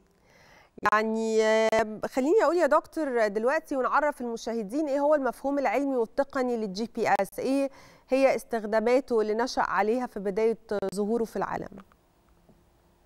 هو نظام ال GPS هو نظام امريكي ابتدى في سنة 1973 آه، أغراض عسكرية طبعا و GPS اختصار Global Position System هو نظام ملاحة كان معمول لأغراض عسكرية في الأول وبعد كده بعد ما كملوا عدد اقمار 24 قمر ابتدى يغطي الكرة الأرضية كلها وأتاحوه للناس كلها مم. يمكن فالنظام ده آه، بعد. آه، بيوفر إن آه، ومكان دقيق لإيه لأي لأي جهاز استقبال بيقابل إشارة ال GPS على الأرض كلها. مم. عايزة أقول لحضرتك إنه دايما بيبقى فيه يعني ساعات كتيرة أو أول ما بدأ التطبيق ده أو استخداماتنا ليه كان كان مش accurate قوي مش دقيق قوي. ابتدى مع الوقت يزيد من الدقة دي. ابتدى النهارده إنه مثلا حتى اللي مش عارف يستخدمه كويس قوي ابتدى ال application ده أو التطبيق ده يكون أسهل في التعامل. هل النهارده التقنيات اللي العلماء اشتغلوا عليها دي عشان يوصلونا للابتكار ده آه، خدت وقت قد إيه؟ أو أو إزاي قدروا إن هم عن طريق استخدامهم للأقمار الصناعية إن هم يوصلوا للدقة دي في التعامل مع application على الموبايل؟ المفروض إن هو زيه زي أي application تاني لكن هو شديد الدقة وخلى فيه اعتمادية كبيرة قوي منا عليه. هو هو الحقيقة أنت هو بيشتغل إنه أنت الجهاز بتاعك اللي هو الموبايل فيه جهاز استقبال اقمار صناعيه. آه، إس- إشارة المنظومة بتاعت ال GPS آه، فأنت محتاج ثلاث اقمار عشان تعرف ال location بتاعك. ثلاث عشان تشتغل على المنظومة ال application بتاع ال GPS اللي عندك على الموبايل يشتغل محتاج ثلاث اقمار ت- تلقط الجهاز يستقبل ثلاث اقمار صناعية في نفس الوقت. مم. فهو طبعا الدقة زادت فمجرد ما أنت استقبلت ثلاث اقمار صناعية خلاص. أنت بقيت دلوقتي الجهاز بتاعك يقدر يحدد انت ال location بتاعك فين. طيب حددت المكان اللي انت رايحه يبتدي بر... ال- برنامج تاني ياخد الم... ال dest- ال... ال... ان انت الجهة اللي انت ابتديت منها وال destination بتاعك أو المكان اللي انت رايح له ويديك أحسن طريق و traffic والدنيا دي كلها. طيب الموضوع ده خد وقت قد إيه يعني تقريبا أمريكا خدت تقريبا من 73 ل 95 مم. بس طبعا دي مراحل. يعني الأول كان بيغطي جزء من أمريكا بس وبعد كده أمريكا كلها وبعد كده أمريكا الشمالية وبعد وهكذا لأنه معتمد على عدد كبير من الأقمار. فأنت كل ما تزود عدد الأقمار وكل ما تزود دقة التصوير ال- ال- دقة الإشارات بتاعتها كل ما الإيه الدقة بتاعت التطبيق بتاعك تبقى احسن. طب وابتدى دلوقتي كمان في بعض الموبايلات بتتيح إن هو يدمج آه، خدمتين لنوعين مختلفين من ال يعني يشغل آه، آه، GLONASS مع مع ال GPS يعني هو النظام الروسي مع النظام الأمريكي. فبالتالي بقيت انت بتشتغل مش عدد الأقمار الضعف يعني بتشتغل على عدد الأقمار الخاصة بال بال بال GPS اللي هو الأمريكي وال GLONASS اللي هو الروسي. يمكن بعض المواطنين لسه ما عندهمش ثقافة استخدام هذا التطبيق يعني هو يعني هو الموضوع ابتدى ينتشر دلوقتي لأنه مع الطرق الجديدة ومع ال- الدنيا ال- ال update اللي بيحصل في الطرق الموضوع اصعب أصعب؟ يعني انت يعني اصعب ان انت تفتكر كل الطرق وتبقى عارف كل حاجة. وخصوصا إن انت لو رايح حتة أول مرة تروح. طيب هل في ت- هل هل في وسائل تعليمية أقدر من خلالها إن أنا أحترف التعامل مع تطبيق ال GPS؟ آه هو في فيديوهات على اليوتيوب كتير إن أنت لو دخلت قلت كيف مثلا استخدم برنامج كذا حسب البرنامج اللي أنت اللي بتستخدمه. طبعا أشهر حاجة Google Maps لأن هو اللي بينزل مع الاندرويد يعني هو ده مش أحسن تطبيق بس هو أكتر حاجة منتشرة لأن هو اللي إيه هو اللي موجود على كل الموبايلات دلوقتي. مم. وفي طيب. نفس الوقت ما هو مع دقة ال GPS ابتدى بقى يديك features وإمكانيات ما كانتش موجودة قبل كده. يعني هو مع انتشار الموضوع مثلا استجابة للطوارئ يعني دلوقتي بيديك لو حق يعني في أماكن يعني مثلا الاتحاد الأوروبي وروسيا من حق أنت ممكن تدخل على على ال GPS تدي alarm إن أنت عندك حاله طوارئ. فبالتالي عرف سجل حالة الطوارئ وعرف أنت موجود فين. في games دلوقتي بتستخدم آه، آه، آه، نظام ال GPS. يخليك تت- تتحرك وتمشي ويعرف مكانك فين و... ويقول لك انت فين ويديك آه، task تاني وهكذا. خطورة بقى معرفة ال applications دي طول الوقت بمكاني أنا فين بتحركاتي عاملة إزاي؟ هل بتقع خطورة على على المستخدم لو فاتح طول الوقت اللي هي هو هو طبعا هو مجرد إن أنت عندك بيانات كتير موجودة على على الموبايل عموما هي كده كده خطر. بس طبعا إحنا ده risk لابد منه. يعني ما دام انت بتستخدم ال GPS انت ال risk ده موجود. بس انت ممكن تقلله ان انت تخليه ما يحتفظش بال history. يعني تدخل على الإعدادات بتاعتك وتقول له أنا مش عايز أحفظ تاريخ الحركة بتاعك على على البرنامج بتاع Google Maps أو أي تطبيق أنت بتشتغل بيه. لأن أنت أول ما تحتفظ بال history أنت بتيجي تروح له مكان يقول لك آه أنت رحت المكان ده من 10 شهور. يعني هو مسجل لك كل حاجة انت عملتها قبل كده يعني يقول لك انت رحت المكان ده من 10 شهور والساعة كذا وصلت الساعة كذا الطريق خد وقت قد إيه. ف already برضه هو ان انت محتفظ بال history بتاعك على ال على برامج اللي هي ال- الملاحة عموما هي مسجلة كل حاجة عنك. يعني انت اتحركت إمتى وصلت إمتى سرعتك كانت قد إيه قد إيه وقفت فين وصلت الساعة كام. كل ده مسجل على كل حال ده من الحاجات التكنولوجية اللي أكيد وفرت علينا وقت كبير قوي مجهود كبير قوي وسهلت علينا حياتنا. كل الشكر ليك الدكتور محمد رفعت خبير التحول الرقمي وأمن المعلومات. مشاهدينا خلونا دلوقتي نروح لزميلتنا هالة ونعرف منها موجز لأهم الأخبار الرياضية المحلية والعالمية. اتفضلي يا هالة. شكرا بسنت. واهلا بكم في موجز لأهم الأخبار الرياضية المحلية والعالمية. النادي الأهلي أعلن انضمام رضا سليم جناح الجيش الملكي المغربي لصفوف الفريق الأول لكرة القدم بالنادي لمدة أربع سنوات قادمة. ويحق إضافة سنة أخرى لمدة العقد إذا رغب النادي الأهلي في ذلك. النادي الأهلي وافق على إعارة لاعبه مصطفى البدري لنادي سموحة لمدة موسمين في فترة الانتقالات الصيفية الحالية. انتهت إعارة مصطفى البدري لفيوتشر ورفض السويسري مارسيل كولر المدير الفني للفريق عودة اللاعب للقلعة الحمراء في الموسم الجديد. وأعلن نادي الجونة الصاعد حديثا إلى الدوري الممتاز تعيين علاء عبد العال كمدرب جديد للفريق في الموسم المقبل. رحبت الصفحة الرسمية لنادي الجونة بتعيين علاء عبد العال مديرا فنيا للفريق وعلقت نرحب بالمدير الفني الجديد لنادي الجونة علاء عبد العال. مرحبا بك في الجونة. فريق الشباب السعودي حقق الفوز على الزمالك بنتيجة 1-0 في المباراة اللي جمعتهم على استاد مدينة الملك فهد بالطائف في إطار مباريات الجولة الثانية للمجموعة الثالثة للبطولة العربية. بالنتيجة دي الشباب السعودي بقى في المركز الثاني في ترتيب المجموعة برصيد أربع نقط بفارق الأهداف لصالح فريق النصر السعودي اللي في صدارة المجموعة برصيد أربع نقط. الزمالك في المركز الثالث بثلاث نقط. فريق النصر السعودي فاز على الاتحاد المنستيري التونسي بنتيجة 4-1 خلال فعاليات المباراة اللي أقيمت امبارح على ملعب استاد مدينة الملك فهد بالطائف في الجولة الثانية من منافسات المجموعة الثالثة ببطولة كأس الملك سلمان للأندية الأبطال 2023 وطبعا بالنتيجة دي ودع فريق الاتحاد المنستيري البطولة بصفر من النقاط وبقي له مباراة أخيرة مع الشباب في الجولة الثالثة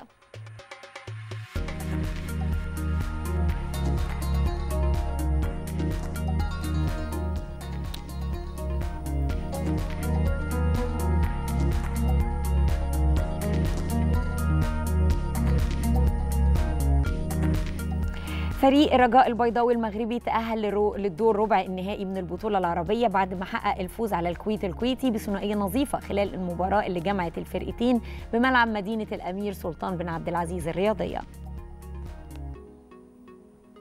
فريق الوحدة الإماراتي بقيادة مدربه الجنوب أفريقي بيتسو موسيماني حقق الفوز على شباب بلوزداد الجزائري بنتيجة 2-1 في المباراة اللي أقيمت باستاد مدينة الأمير سلطان بن عبد العزيز الرياضية ضمن منافسات الجولة الثانية من بطولة كأس الملك سلمان للأندية العربية الأبطال 2023 ليتأهل لدور ربع النهائي من البطولة. ونادي اتحاد جدة السعودي أعلن ضم اللاعب البرازيلي فابينو نجم خط وسط ليفربول الإنجليزي بصفقة تمتد لثلاث سنين قادمة خلال فترة الانتقالات الحالية.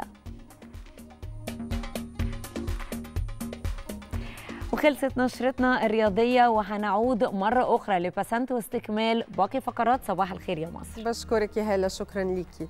لسه مكملين كلامنا عن الرياضة والزمالك فقد ثلاث نقاط مهمة وغالية في مشواره بالبطولة العربية وده بعد الخسارة أمام الشباب السعودي بنتيجة 1-0 والزمالك كده بيكون في مأزق خلال مباراته الأخيرة أمام النصر السعودي في الجولة الثالثة والأخيرة. هنتعرف على تفاصيل أكتر عن مباراة الزمالك والشباب السعودي وإيه هي الأسباب اللي يمكن كانت سبب في خسارة الزمالك وإيه المطلوب من المدرب واللاعبين في الفترة الجاية والمباراة الجاية عشان يقدروا إن هم يكسبوا. ده هنعرفه من الناقد الرياضي اللي معانا دلوقتي عبر الهاتف محمد همام. أهلا بيك يا فندم. أهلا بحضرتك واهلا بالسادة المشاهدين. صباح الخير صباح الخير عليك.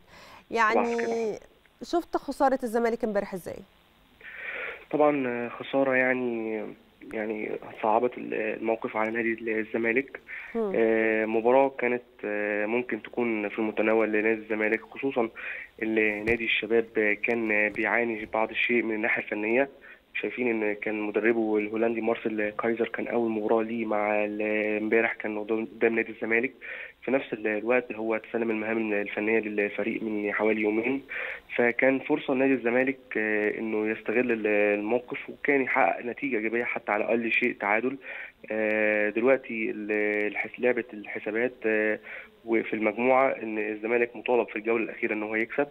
وبالتالي إن الزمالك أهدر آه، فرصة آه، الصعود إمبارح حتى آه، كان ممكن يقدر يصعد لو كان قدر يكسب وكان يحسب موقفه والصعود من المجموعة بدري ويخرج من لعبة الحسابات. يعني طيب كان متوقع إن اسوري يغ- يغير من طريقة لعبه؟ وهو فعلا عمل ده وعمل تعديلات على التشكيلة. شايف يمكن ده سبب من أسباب الخسارة؟ ممكن يكون أسوريو فكر في نقطة ال- نقطة المداورة بمعنى إن في ضغط ثلاث مباريات في حوالي آه، سبعة أيام. و- فبناء عليه يعني كان آه، فكر ممكن يجري تغييرات آه، وده آه، شفناه في التشكيل امبارح عمل ثلاث تغييرات لكن كان النقطة الغير متوقعة هو عدم وجود مثلا يوسف أوباما رغم إن هو قيد أول امبارح في قائمة الفريق. فكان في دلوقتي علامات استفهام بعض الشيء على بعض ال- الأسماء سواء كان في التشكيل أو بره التشكيل. دلوقتي هيكون تفكير أسوريو أكيد تفكير اللعيبة على نقطة واحدة وهي نقطة الفوز في المباراة الأخيرة فأكيد هيكون الفكرة في المباراة الأخيرة طابع هجومي بعض الشيء خصوصا إن إحنا برضو بنشوف إن الفريق ال- ال- ال- النصر في في الجولة آه، زي مباراة امبارح رغم فوزه أربعة ومباراة الشباب عنده ثغرات دفاعية نتمنى إن نادي الزمالك يقدر يستغلها. نادي الزمالك ما عملش أي خطورة هجومية امبارح خالص إيه السبب؟ آه، نادي الزمالك ممكن يكون في كان بعض التوتر بعد الشيء من اللعيبة في الشوط الأولاني بالتحديد آه، دخولهم في مشادات ودخولهم وتفكيرهم مع تركيزهم مع الحكم ممكن يكون برضو سبب من الأسباب. آه، في نفس الوقت آه، نادي الشباب آه، يعتبر كان تفكيره الأكتر على ال- اغلاق المساحات وفي نفس الوقت آه، ما يديش فرصة نادي الزمالك إن هو يهاجم. كان يعتبر آه، فرص نادي الزمالك كلها تسديدات من آه، من آه، بره منطقة الجزاء زي شفنا تسديدة آه، مثلا زيزو أو آه، تسديدة آه، شيكابالا في نهاية المباراة. آه، كان في نفس الوقت برضو يعني ال- ال- التغييرات والأوراق البديلة. ما فيش أوراق هجومية قدرت تساعد اسوريو آه، وبرضو في نفس الوقت كان آه، يعني الضغط على اللعيبة من الناحية النفسية والذهنية أثرت أكيد أكيد على ال- الفريق فكل دي عوامل شفنا فيها نادي الزمالك إن هو برضه ما قدرش إن هو يعني برغم من خبرات لاعبيه وبالرغم إن في أكتر من لاعب في الفريق يعتبر من من ال- الخبرات سواء مع نادي الزمالك أو المنتخب المصري لكن ما قدروش إن هم يستغلوا الموقف مع ناحية نادي الشباب. طيب إحنا لو بنقول إنه في يمكن توتر وخوف شوية من آه، النادي آه، الشباب السعودي فرصنا إيه مع نادي النصر؟ على الورق يعني إحنا شايفين نادي النصر آه، يعتبر من الأندية السعودية اللي دعمت صفوفها بشكل يعني قوي جدا. طبعا قبل كده وجود كريستيانو رونالدو بنتكلم في الصيف ده وجود اتنين في نص الملعب آه، من يعني من الركائز المهمة جدا كان في أنديتهم الموسم اللي فات سواء كان مارسيلو بروزوفيتش مع إنتر ميلان وقاد فريق الوصول نهائي دوري أبطال أوروبا السنة اللي فاتت.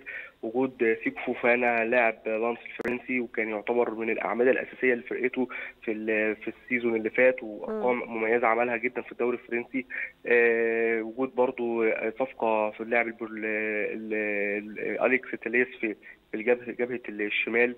فدلوقتي آه، نادي النصر دعم صفوفه بشكل قوي والكلام كمان دلوقتي على ساديو ماني آه ممكن صعب إن هو يلحق بمباراة الزمالك ممكن هيلحق بال- بالأدوار ال- ال- الأقصائية آه، لو قدروا يصعدوا. فطبعا مباراة صعبة على نادي الزمالك خصوصا نادي النصر. يعني قدامه أكتر من احتمال إن هو يقدر يصعد سواء كان تعادل أو آه، فوز. أو حتى لو في خسارة فممكن النصر برضه يقدر يصعد. لو شفنا إن الشباب ممكن ما يقدر لو ما قدرش يكسب فهيكون. و- وقتها ال ال ال ال على كل حال الأهداف. آه على كل حال إحنا بنتمنى التوفيق أكيد لنادي الزمالك وفي اللي جاي وبنشجع النادي و- ووراه إن شاء الله إن شاء الله نفوز في المباراة الجاية ونعوض الخسارة. كل الشكر ليك محمد همام الناقد الرياضي. دقت ساعة التاسعة. نسيب حضراتكم دلوقتي مع موجز الأهم وآخر الأنباء مع هالة. اتفضلي هالة. شكرا بسنت التاسعة صباحا بتوقيت القاهرة. السادسة بتوقيت جرينتش موجز الأخبار من التلفزيون المصري. أهلا بكم.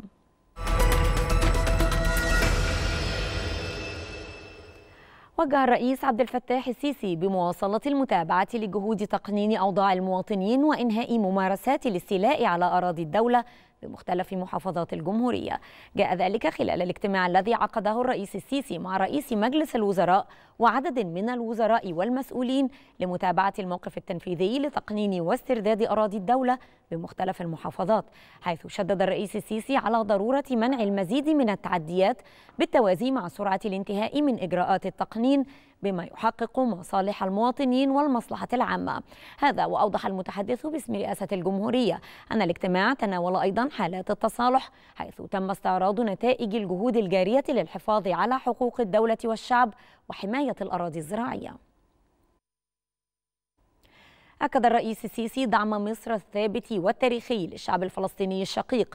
جاء ذلك خلال استقباله للرئيس الفلسطيني محمود عباس حيث أعرب الرئيس السيسي عن ترحيب مصر باستضافة اجتماع الفصائل الفلسطينية الذي انعقد بمدينة العالمين الجديدة بحضور الرئيس الفلسطيني.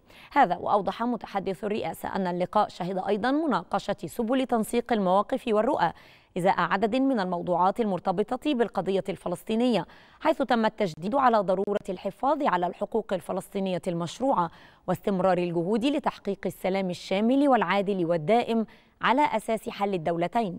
من جانبه توجه الرئيس الفلسطيني بخالص الشكر والتقدير للرئيس السيسي على استضافة مصر لهذا الاجتماع المهم واحتضانها التاريخي للقضية الفلسطينية ولشواغل الشعب الفلسطيني. أعلن الجيش الروسي ومسؤولون في العاصمة الروسية موسكو إسقاط عدد من الطائرات المسيرة التي استهدفت العاصمة مشيرين إلى أن إحدى الطائرات أفلتت من الدفاعات وضربت مبنى شاهقا كان قد استهدف في وقت سابق خلال الأسبوع المنقضي. وقالت وزارة الدفاع الروسية إن قواتها أحبطت هجوما إرهابيا على حد وصفها من قبل نظام كييف وأسقطت طائرتين مسيرتين في الضواحي الواقعة إلى الغرب من وسط المدينة. وأضافت وزارة الدفاع الروسية أن طائرة مسيرة أخرى أصيبت بأجهزة إلكترونية لاسلكية وعندما خرجت عن السيطرة تحطمت في منطقة مجمع المباني غير السكنية في موسكوفا سيتي. ذكرت وكالة رويترز نقلا عن وكالات أنباء روسية أن ستة أشخاص لقوا حتفهم في قصف أوكراني على مدينة دونتسك وقرية في منطقة زابوريجيا. يأتي ذلك فيما ذكرت وكالة الأنباء الروسية تاس أن ثلاثة أشخاص قتلوا وأصيب أحد عشر آخرون في قصف أوكراني لمدينة دونتسك حيث قال رئيس المناطق التي تسيطر عليها روسيا في دونتسك إن الضحايا سقطوا بعد أن أصابت قذائف أوكرانية حافلة مدنية. فيما أشار حاكم منطقة زابوريجيا إلى أن ثلاثة أشخاص قتلوا وأصيب نحو 15 بعد قصف أوكراني لمتجر محلي في قرية باسان. أعلن الجيش الأمريكي أن رئيس هيئة الأركان المشتركة مارك ميلي تحدث هاتفيا مع رئيس أركان جيش النيجر عيسى عبد الصديق قبل أيام. وقال متحدث باسم الجيش الأمريكي أن الاتصال تناول مناقشة سبل سلامة المواطنين الأمريكيين وكذلك الوضع في النيجر. أعلنت الولايات المتحدة أنها ستدعم نشر قوة شرطة متعددة الجنسيات بقيادة كينيا في هايتي متعهدة بأن تقود الجهود في مجلس الأمن الدولي لإصدار التفويض لها. وقال المتحدث باسم وزارة الخارجية الأمريكية ماثيو ميلر أن الولايات المتحدة ملتزمة بإيجاد الموارد لدعم هذه القوة المتعددة الجنسيات مضيفا أنه من السابق لأوانه تحديد ماهية المساعدات سواء المالية أو المادية التي يمكن أن تقدمها واشنطن.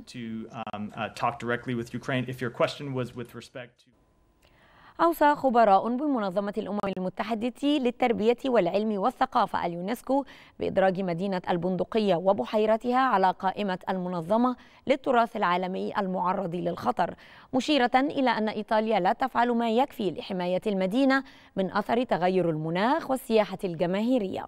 وقالت اليونسكو إن التدابير التصحيحية المقترحة من إيطاليا غير كافية وليست مفصلة بما يكفي في الوقت الحالي. وأضافت أن إيطاليا لا تتواصل بصورة مستدامة وبناءة منذ آخر جلسة لها في اللجنة في عام 2021 حينما هددت اليونسكو بالفعل بوضع البندقية على القائمة السوداء. ورياضيا أعلن نادي اتحاد جده السعودي التعاقد مع الدولي البرازيلي فابينو لاعب ليفربول الإنجليزي. وأوضح اتحاد جده أن فابينو وقع عقدا مع الفريق يمتد لمدة ثلاث سنوات دون الكشف عن الجوانب المادية إلا أن تقارير صحفية ذكرت أن ليفربول سيحصل على 45 مليون يورو مقابل بيع فابينو.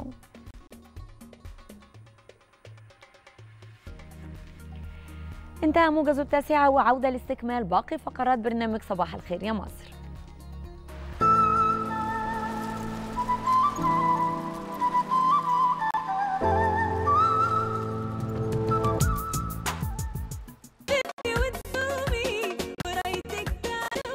يعني بدون شك القطاع الزراعي هو أحد القطاعات المهمة في الاقتصاد المصري.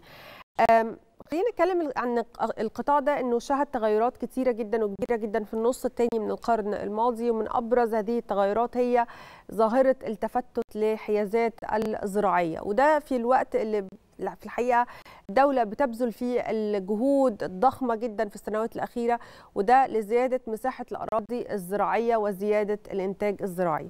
عشان كده في اهتمام كبير من الدولة لوضع آليات دعم صغار المزارعين ووضع حلول علشان يكون في مردود وعائد زراعي واقتصادي كبير. خلونا نعرف تفاصيل أكتر عن هذا الموضوع بالتحديد من الدكتور علي عبد المحسن رئيس قطاع الشؤون الاقتصادية بوزارة الزراعة. صباح الخير على حضرتك. أهلا بيك في صباح الخير. يا مصر. أهلا يا فندم سيادتك أستاذ المشاهدين أهلا بيك يا فندم. يعني في البداية خلينا نتكلم قبل ما نتكلم عن تفاصيل هذا الموضوع. إيه هي آليات دعم صغار المزارعين وأهميتها؟ تمام.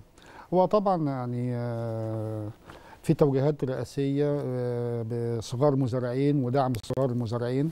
فإحنا لو بصينا في البداية منذ يعني تجهيز الأرض للزراعة فإحنا كوزارة الزراعة وإصلاح الأراضي بنوفر الميكنة الحديثة للسادة المزارعين لحرث الأرض وت- وتجهيزها للزراعة بالآلات الحديثة وبأسعار تنافسية يعني قد تكون بسعر التكلفة. وهذه التقنيات يعني اللي هي تسويه الأرض بالليزر وهذه التكنولوجيات الحديثة يعني في تجهيز الأرض للزراعة دي بتزود الإنتاجية الفدانية بحوالي من 15 ل 20% وبترشد استخدام المياه أيضا بحوالي من 10 ل 15% ده فيما يتعلق في تجهيز الأرض للزراعه في البداية خالص.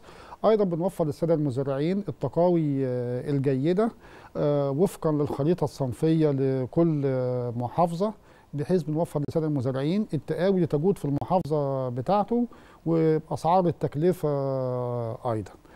فيما بعد ذلك بنوفر أيضا للسادة المزارعين الأسمدة الكيماوية آه، وفقا لاحتياجات آه، المحصول وخاصة المحاصيل الاستراتيجية. ودي بنوفرها له يعني شكارة السماد اليوريا بنوفر للمزارع شكارة بحوالي 240 جنيه. سعرها أكثر من 500 جنيه. فإحنا. بنوفر له الاسمده الكيماوية أيضا بأقل من نصف سعرها في السوق ال- العالمي. آه، أيضا آه، آه، أثناء بقى حصاد أثناء الزراعة وال- طول بقى عمليات الزراعة بنعرف السادة المزارعين الممارسات الزراعية الجيدة آه، اللي هي تؤدي إلى زيادة الإنتاجية للمحصول وده من خلال الحملات القومية زي الحملة القومية للقمح الحملة القومية للذرة الحملة القومية للأرز الحملة القومية للقطن. هذه الحملات بنعرف السادة المزارعين في حقول آه، إرشادية إيه العمليات الحرث المناسب؟ إيه التسوية المناسبة؟ إيه الزراعة ال- كمية التقاوي المناسبة؟ إمتى أضيف الأسمدة؟ إمتى أروي؟ إمتى أتوقف عن الري؟ إمتى إزاي اقاوم الآفات. الحاجات دي كلها بنعرفها للساده المزارعين في الحملات القومية فديت أيضا بتؤدي إلى زيادة الإنتاج للساده المزارعين وزيادة دخولهم. أيضا أهم بقى نقطة بتقابل الساده المزارعين تسويق المحاصيل. فإحنا عشان هذا الموضوع عملنا زراعة تعاقديه هذا العام. وبن بحيث بنحط أسعار دنيا يعني آه، ضمان للسادة المزارعين قبل ميعاد الزراعة. وهذه الأسعار بتغطي تكاليف الإنتاج وبتكون يعني يعني بتعادل الأسعار العالمية وأعلى منها كمان. ف وبنستلم المحاصيل من السادة المزارعين بهذه الأسعار. فكده المزارع بيضمن إن يسوق المحصول بتاعه وإن هو باعه بسعر جيد. طيب إزاي بيتم حل مشكلة التفتت أو التفتت الحيازة الزراعية؟ خليني أقول لحضرتك اللي أنا فاهماه. وصحح لي لو أنا غلطانة. ال- ال- الحيازة الزراعية النهارده في أرض مثلا بيمتلكها أب الأب ده يعني قرر إن هو يورث ال- الأرض دي لاولاده توفى بقى ايا كان إيه اللي حصل. تمام. آه ولاده قرروا إن كل واحد فيهم هيقسم الأرض دي. فبدل ما أنا كان عندي أرض كبيرة بزرعها النهارده. تمام. وأنا كدوله بدعمها بقى سواء بالتقاوي أو بالاسمده أو بالتكنولوجيا الحديثة للري الكلام ده كله. أنا النهارده بقى عندي الأرض دي متقسمة لأربعة وخمسة. مظبوط. فالنهارده في صعوبة على الدولة في إن. هي آه، تعمل ده أو أو يبقى حتى إنتاجية المحصول تطلع بالشكل اللي كانت بتطلع بيه قبل كده. تمام. هل في حلول إحنا حطيناها للموضوع ده؟ تمام. وطبعا عشان اخش في الحلول يعني هوضح لسيادتك حجم المشكلة قد إيه. مم. إحنا طبعا آه، كنا في الخمسينات آه، مساحه أرض يعني عدد الحائزين كان حوالي مليون حائز. إحنا في هذا العام ب 23 وصلنا لحوالي 5.7 من عشرة مليون حائز. يعني لك أن تتخيلي بقى الحيازات يعني تفتتت تقريبا الضعف. يعني يعني ممكن نقول خمس ست أضعاف مم. ت- ت- ت- تناصرت يعني مم. بالإضافة إن زي ما قلت سيادتك الحيازة يعني متوسط حجم الحيازة كنا في الخمسينات أيضا كان حوالي 6 فدان مم. دلوقتي متوسط حجم الحيازة أقل من فدان. النقطة بقى الثانية زي ما سيادتك قلتي إن إحنا يعني نتيجة الميراث والأب كان عنده قطعه أرض معينة فلا حصل يعني آه، توفاها الله. فالأرض دي بتتقسم على الورثة فكل واحد بياخد جزء معين وبعد كده الورثة بتورث الورثة وهكذا. فحصل تفتت كبير في الأرض. أيضا بقى الملك الأولاني ده كان عنده الأرض بتاعته الخمسة فدان دول ولا في قطع في عدة قطع. يعني عنده في الحوض فدانين في هنا فدان هنا وحاجة زي كده. فإحنا دلوقتي بنعاني. الناس هم الحساب بتاعتهم تفتتت ديت بقت. حتة في مفتتة ومشتتة. يعني أنا عندي مثلا دلوقتي خمسة قرات ولا ست قرات مش موجودين في حتة واحدة مشتتين ده أنا عندي حتة هنا وحتة قدام سيادتك كده. وحتة هناك وحاجات زي كده. فديت مشكلة كبيرة بتؤدي إلى إن أنا بفقد جزء كبير من الأرض الزراعية مم. نتيجة إن أنا بقى كل مالك و- وأخوه عملوا حد كده ما بينهم وبين بعضهم فالحد ده يعتبر أنا فقدته كأرض زراعية كنت آه، كنت بزرعها. أيضا هذه الأرض اللي هي بقت صغيرة ومفتتة ديت بيبقى فيها برضك هدر في مياه الري.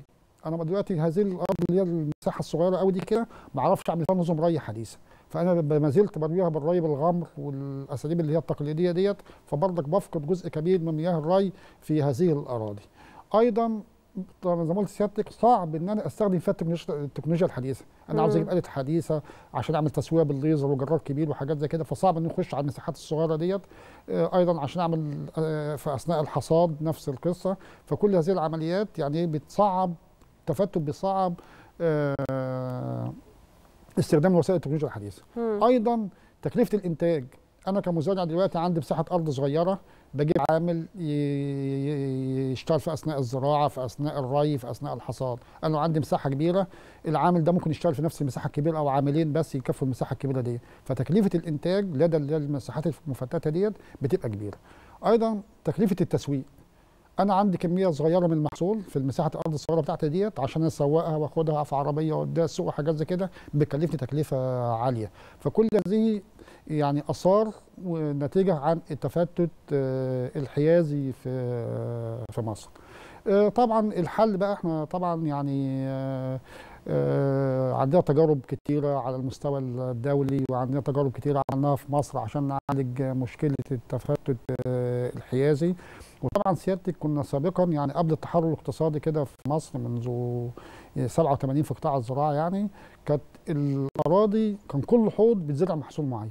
كان في حاجة اسمها الدورة الزراعية فالدورة الزراعية ديت لو رجع إحنا إن شاء الله في اتجاهنا إن إحنا نرجعها مرة أخرى فده يحل مشكلة التفتت الحيازي. بدل ما كل مزارع يزرع المساحة الصغيرة دي لوحده لأ إحنا ممكن نزرع الأرض ديت بشكل جماعي محصول واحد في المنطقة في الحوض الواحد وحاجات زي كده. فده أحد الوسائل إن إحنا نستخدمها إن إحنا يعني نعالج مشكلة التفتت آه، الحيازي. وده أكيد هيزود من الدخل للمزارع يعني لو أيوه طبعا. لو تعاونت مع المزارع اللي جنبي ايا كان بقى ده أخويا ابن عمي أو حتى جاري وتعاوننا مع بعض وعملنا محصول آه، من من أرض واحدة كاملة فبالتالي وفرنا من المية ومن التقاوي والحاجات دي كلها اللي الحكومة بتوفرها لنا. أكيد هوفر من ال- الإنفاق بتاعي أنا ده حاجة. تاني حاجة هزود من مصدر الدخل بتاعي. سؤالي بقى هنا تنويع مصادر الدخل لدى الفلاح يعني إزاي بيتم زيادتها عامة؟ تمام. هو طبعا سيادتك إحنا طبعا آه، قطاع الزراعة يعني مش إنتاج نباتي بس إحنا عندنا. إنتاج نباتي وانتاج حيواني, وحيواني وانتاج مم. عندنا صوب زراعية عندنا مناحل الحاجات دي كلها فإحنا في الوقت الحالي بنحاول إن إحنا يعني ننوع مصادر دخل المزارع من إن هو يبقى عنده إنتاج نباتي وفي نفس الوقت يبقى عنده إنتاج حيواني وإنتاج داجيني ممكن برضك بنشجعه إنه يعمل منحل على في الأرض الزراعية بتاعته برضك بنشجعه إن هو يعمل صوبة زراعية بحيث هذه الصوبة لو هو عنده مثلا مساحة صغيرة بدل ما يعني يبيعها أو تجيب له إنتاج ضعيف وحاجات زي كده هوت فإحنا بنحاول نعمل نعمل له نرشده يعني نعمل عليها صوبة زراعية بحيث.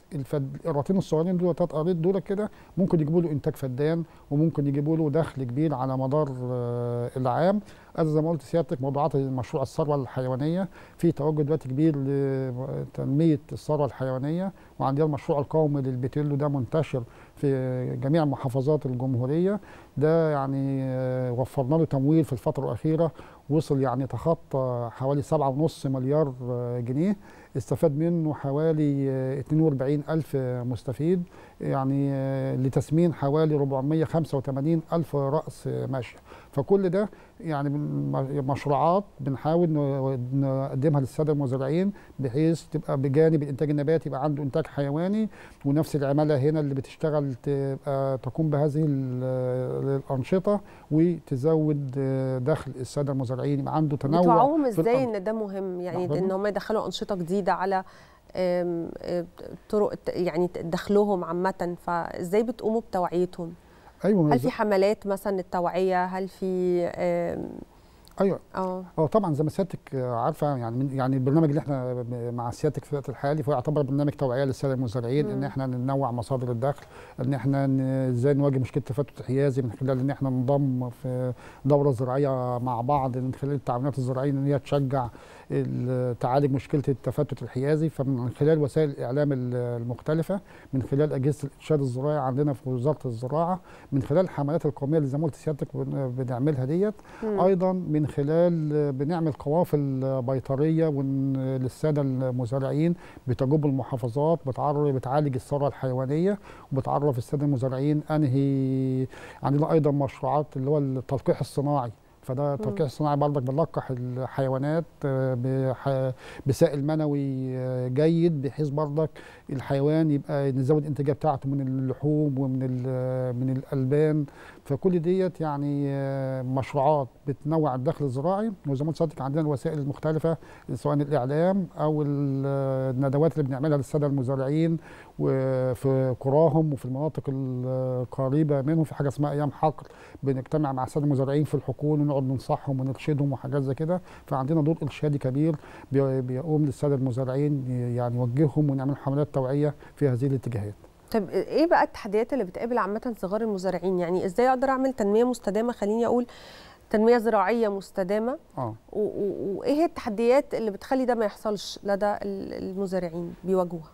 بصوا إحنا عندنا في تحديات بتواجه قطاع الزراعة في مصر بشكل عام. مم. آه، زي ما سيادتك قلنا التفتت الحيازي ده مشكلة بتقابل جمهورية مصر العربية. ومش مصر بس يعني معظم دول العالم دلوقتي عندها تفتت حيازي وعندها تجارب بتستخدمها في معالجة آه، التفتت الحيازي. آه، فعندنا أول تحدي مو- مواجهة مشكلة التفتت الحيازي عندنا مشكلة التحدي الثاني اللي هو سيادتك ندرة الموارد المائية. إحنا عندنا في جمهورية مصر العربية يعني م- نصيب الفرد من آه، حصة مصر من من مياه نهر النيل يعني في الوقت الحالي حوالي يعني أقل من 600 متر مكعب من المياه إحنا الخط الفقر المائي على مستوى العالم 1000 متر فاحنا مم. تحت خط الفقر الفقر المائي فاحنا عندنا مشكله ندره الموارد المائية مشكلة تفتت حيازي المشكلة بقى الظاهرة العالمية اللي كلنا عايشينها دلوقتي التغيرات المناخية. واثرها بقى على الانتاجات بتاع المحاصيل وعلى انتشار آفات جديدة والحاجات دي كلها. فديت أهم التحديات اللي بتقابل قطاع الزراعة آه، في الوقت الحالي.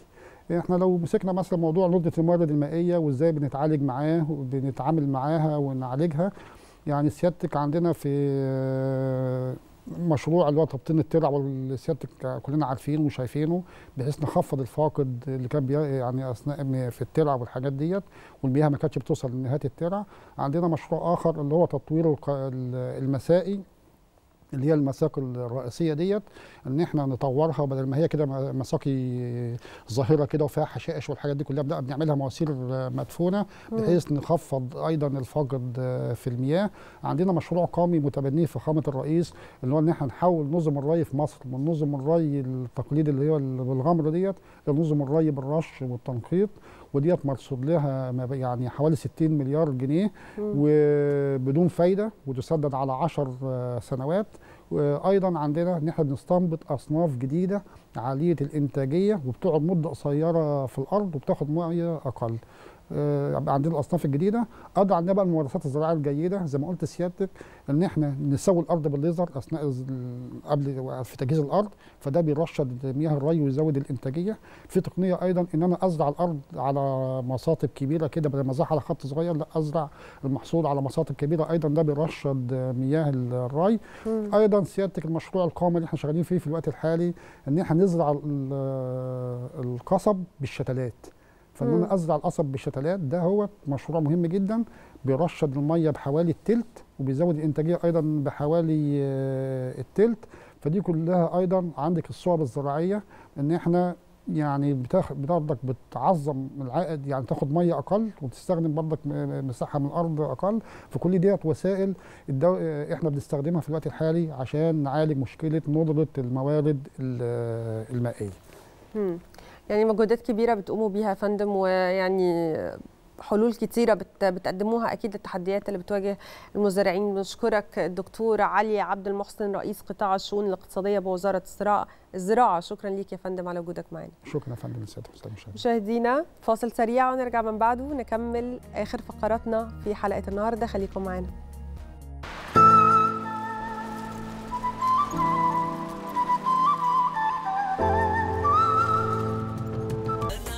أهلا بحضراتكم من جديد وخلونا دلوقتي نروح للعالمين ونعرف من زميلنا باسم أبو العنين أبرز فعاليات مهرجان العالمين النهارده هتكون إيه؟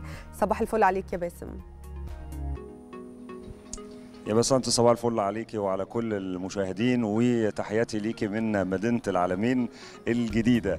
آه النهارده جو آه يعني هو صيفي عندك بس ربيعي عندنا بصراحة. ويعني آه بيتمنى إن الناس تكون يعني آه تحط في الخطة بتاعتها في ال weekend إن هي تيجي آه تقضي وقت لطيف هنا في العالمين. وبالمناسبة هو مش لازم يكون مصيف هو ممكن يكون يعني day use الناس تيجي تقضي يوم و... و... وترجع تاني إن كان في قدرتها إنها تعمل كده. وحتى المواصلات للي ما عندوش وسيلة مواصلات خاصة آه، متاح إن هو يركب آه، سواء من القاهرة أو من المحافظات ال- القريبة آه، مواصلات لحد العالمين على طول. يعني الموضوع ما فيهوش أي مشقة خالص.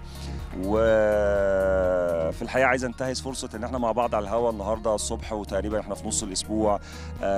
الفعاليات الكبرى هتبتدي في آخر الأسبوع. آه، ال- البلد آه، جميلة والبلد متاحة للجميع ومصاريفها زي ما بنقول كده على قد الإيد وعلى كل المستويات. يعني أي حد ممكن يجي هنا وينبسط.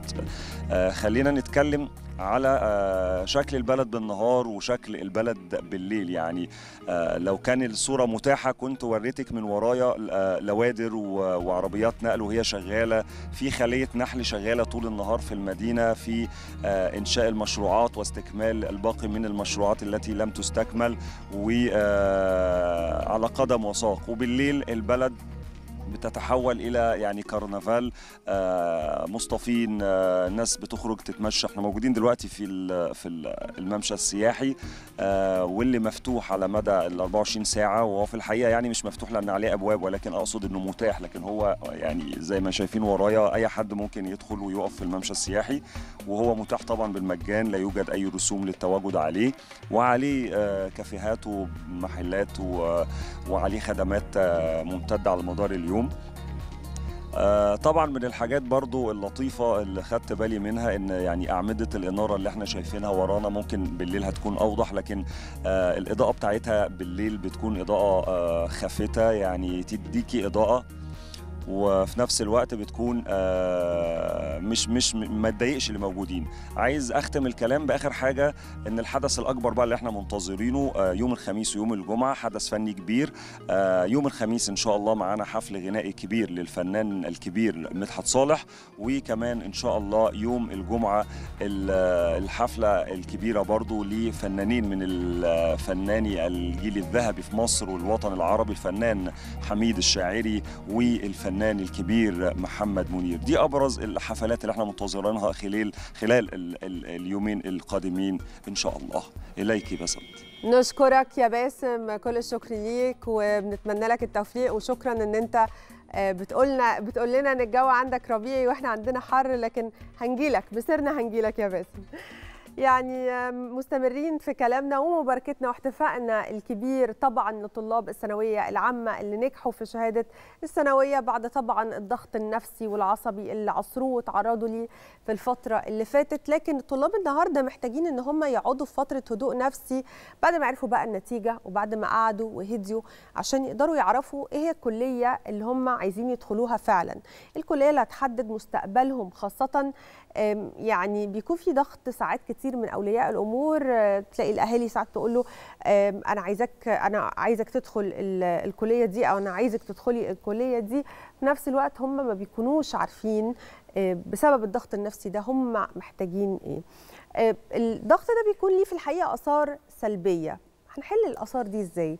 والهدوء النفسي ده ه... ه... يعني هنعمل آه، هدوء نفسي إزاي وفي وقت ان إحنا يلا التنسيق إحنا لسه مخلصين النتيجة طلعت. كل ده هتعرفنا عنه الدكتورة آه، الاستعدادات النفسية دي طبعا الدكتورة اللي منورانا النهارده في الاستوديو رضوى سعيد عبد العظيم استشاري الطب النفسي بالقصر العيني. أهلا بيك يا دكتور. أهلا بحضرتك. منورانا دايما. ده نور سيادتك. يعني آه، أكيد أنت عندك حد من أصحابك أو أولادك أو قرايبك كان في الثانوية العامة وشفتي أو عاصرتي الضغط ده عامل إزاي. آه، إزاي نعرف أو نع- نعرف من حضرتك الطالب بعد إعلان النتيجة إيه المدة الزمنية الطبيعية اللي ممكن آه، يقعدها عشان كده يعرف إيه هي الكلية اللي هيدخلها. والله على حسب النتيجة. يعني في ناس بتبقى جابت نتائجها اوريدي بالفعل عارف هو عايز يخش تجارة عايز يخش هندسة عايز يخش صيدلة وجاب المجموع بتاع الكلية فطريقه مفتوح مفيش حاجة موقفاه. آه، ال- القصة كلها بتبقى في الطلبة وأهاليهم اللي عندهم طموحات وكانوا عايزين يدخلوا أهاليهم كليات معينة. آه، أسفة آه، أطفالهم كليات معينة. وشايفين إن الولد أو البنت فشلوا لأن هم ما جابوش المجموع. مم. فهنا لازم ال- الأسر كلها والناس كلها آه، والطلبة بالاخص يبقوا عارفين انه الفشل والنجاح ده شيء نسبي جدا. واللي بيحدد آه، نجاح البني آدم الحقيقي وسعادته في حياته مش الكلية. الكلية دي مرحلة آه، يعني مؤقتة جدا. وكتير من أوائل كلية الطب ما هماش أحسن دكاترة. والمهندسين المتعينين معيدين مش بالضروره إن هو أحسن مهندس. فقصه إنه النمر بس هي اللي بتحدد مصيرنا ده شيء مغلوط جدا وبنسيبه إنه يسيب آه، صدمة وأثر سلبي شديد على الطالب وعلى أسرته. فتلاقي الأسرة مكسوفة تقول آه، نتيجة الطالب لأنه وكأنه خذل الأسرة كلها. ده كلام فاضي فاضي. الراجل ده أو البنت دي ممكن جدا يكون شخص موهوب وخريج آه، آه، معهد فني تجاري وبقى أشطر واحد بيصلح آه، تكييفات. بلاش تجاري يعني أقصد معهد فني بي- بيعمل حرفة. موهوب في الحرفة حتة معينة بالظبط. والحرفة دي هي اللي تخليه عنده كارير ومجال يكسر الدنيا يبقى أشطر من زميل ليه أو جار طبيب أو مهندس اللي, اللي أنا بجيب الأمثال دي لأن هي دي المهن اللي إحنا بنشوفها أحسن مهن وده شيء بيضحك. يعني في أستراليا آه، قارة أخرى آه، أكتر واحد بياخد فلوس رقم واحد آه، أعلى مرتب في الساعة هو السباك. سباكين بالظبط. هو. السباك. فبياخد 3000 دولار استرليني في الساعة. فالنهارده ال- الوعي بتاع ال- المواطنين لاهميه كل المهن وإنه في الآخر اللي بينجح واللي بيثبت نفسه هو الإنسان اللي بيعرف يحط آه، بصماته على الأرض. فمش كل السباكين شاطرين مش كل الأطباء شاطرين ومش كل المهندسين آه، بنوا حاجات مهمة أو مطلوبين في السوق. هو ده اللي محتاج آه، الأب والأم يزرعوه في بنتهم وابنهم إنه ده مش آخر المطاف وإنه يحاول يساعده يحقق اللي هو عايزه يخش الكلية أو المعهد الفني أو ايا كان إيه الدراسة اللي هو عايزها مش اللي بتحقق طموح الأب والأم لأن في الآخر مش هما اللي هيعيشوا حياته وحياتها. أيوه يعني دكتور ال- الطالب النهارده وحضرتك قلتي حاجة مهمة جدا انه إنه الأب والأم مش هم اللي هيعيشوا الحياة دي. بالظبط. لكن للأسف إحنا بنقعد عارفة مع نفسنا كده كتير بقى عندنا أولادنا مش عارفين هم عايزين يعملوا إيه. تسأليهم آه، ومتاكده إن حضرتك يمكن تعاملتي مع مع النوع ده من الناس اللي بتجيلك إنه آه، أم أو أب يقولوا لك أنا ابني مش عارف هو عايز يعمل إيه طول الوقت. فالمرحلة بتاعت الهدوء دي قبل ما أقرر مصيري يعني هيبقى إيه قدام إزاي آه، يعني الهدوء ده يخليني أعرف أحط كده أفكاري وأرتبها وأعرف أنا عايزه أعمل إيه أنا شاطر في إيه. زي ما حضرتك قلتي الحتة اللي أنا عندي فيها موهبة أقدر أحط فيها بصمة. أستغل الوقت ده إزاي؟ القلق في العموم بيخلي الإنسان ما يعرفش يفكر بيلخبطه والقلق هو أكتر وأخطر وأشهر آه الأكثر شيوعا من الأمراض النفسية. واللي بتصاحبها كمان أعراض نفس جسمانية. يعني أنا قلقان فمعدتي بتقلب عندي قولون عصبي آه عندي ضربات قلب كتير من مرضى القلق ممكن يروحوا كمان مستشفى الطوارئ. فالنهاردة الوقت اللي حضرتك بتشيري إليه آه النهارده عندي امتحان سواء جبت فيه مجموع كبير قوي أو مجموع آه، أقل من اللي أنا متوقعه لازم آخد فترة نفس. هو ده اللي حضرتك بتتكلمي فيه إن أنا أعيد حساباتي وأفكاري لو لم أوفق في الطريق اللي أنا آه، رسمه وجبت المجموع فأنا مكمل في الخط اللي أنا عاوزه فبالتالي مراجعة وترتيب الأوراق ممكن يبقى آه، أيام ممكن يبقى أسابيع ولكن ده بيفرق طبعا من شخص للتاني لأنه في شخص بيهدى بسرعة واللي حواليه بيساعدوه إن. هو يهدى بسرعة يعني لو طالب عنده أنشطة رياضية عنده أصدقاء في حياة أخرى بجانب ال- آه، الدراسة. ده بيبقى أسهل عادة آه، في إنه آه، يرجع يتمالك نفسه يعرف إن ده مش آخر الدنيا وإنه هيلاقي حاجة جديدة يلاقي نفسه فيها. إنما لو آه، طالب كل اللي بيعمله إن هو آه، بيذاكر وبس والأسرة كلها حاطة أحلامها واملها عليه كل الناس بتتكلم على إنه آه، مستنيين نتيجته. ففي ترقب شديد جدا وضغط شديد جدا. فعادة ال- الطلبة دول بياخدوا وقت أطول إن هم القلق يهدى لأنه كمان القلق ما بيبقاش مرتبط بس بالطالب بيبقى مرتبط بالأسرة كلها الأسرة كلها في حالة قلق. فكل ما الطالب يحاول يهدى علشان يلاقي آه، سكة جديدة وطريق الأم تبقى حزينة الأب يبقى قاعد بيبكته الأب قاعد محبط. فده يشعل تاني القلق. فلازم برضو نبقى فاهمين إنه الجو العام اللي إحنا بنديه لأولادنا أثناء الدراسة علشان ينجحوا ما ننساش ابدا إنه النجاح ما هواش بس نتيجة الثانوية العامة. النجاح هو إزاي إن أنا أدعم ابني وبنتي إن هم ينجحوا في حياتهم إن هم يكملوا طريقهم إنه آه أنت آه كويس وأنت آه ناجح وأنت جميل وأنت راجل ملو هدومك وأنت ست زي القمر وانت هتعملي كل اللي نفسك فيه سواء جبتي 50 أو 60% آه، وعديتي الامتحان. يعني ابتدي أقول انت عديت الامتحان. دي مرحلة. لو انت آه، عايز تحسن أو عايز آه، تخش كلية أو معهد كفترة انتقالية وبعدين تفكر انت عاوز تعمل إيه مفيش مشكلة. فدايما أأكد على الطالب إنه نجح. مش. إنه فشل. ده مهم جدا وأحاول أحتوي مشاعري أنا آه، كأب وأم وأحزاني لأن ده مش هيفيد آه، عيالي. دكتور هل في ترابط ما بين النجاح إن أنا ناجحة في حاجة أنا بعملها سواء بقى دخلت الكلية أو اشتغلت وما بين إن أنا بعمل الحاجة اللي أنا بحبها أو دخلت الكلية اللي أنا بحبها؟ هل في ارتباط ما بين الاثنين بالتأكيد اللي بيعمل حاجة بيحبها بينجح فيها. وفي آه، مثل شائع في كثير من الثقافات بيقول آه، اعمل اللي بتحبه وحب اللي بتعمله. مم. يعني طب افرض أنا آه، اضطريت ان أنا اخش لمجال دراسة غير اللي أنا كنت راسم مستقبلي كله عليه. مم. وابتديت الاقي اشياء بحبها في المجال ده. وابتديت الاقي نفسي دايما ادور على ان أنا الاقي نفسي في المكان اللي أنا فيه. بدل ما أضيع الوقت وأستثمره في إن أنا آه، ناقم وحاسس إن أنا ما عملتش اللي أنا نفسي فيه وحاسس إن أهلي أجبروني إن أنا أخش المجال ده أو الظروف أو الدولة أو قلة الموارد كل ده كلام فاضي فاضي. لأنه في الآخر آه أنت وأنت تقدر تنجح في أي مكان أنت فيه طالما حضرتك عاوز تنجح وطالما حضرتك بتبص دايما على اللي معاك. مش اللي مش معاك.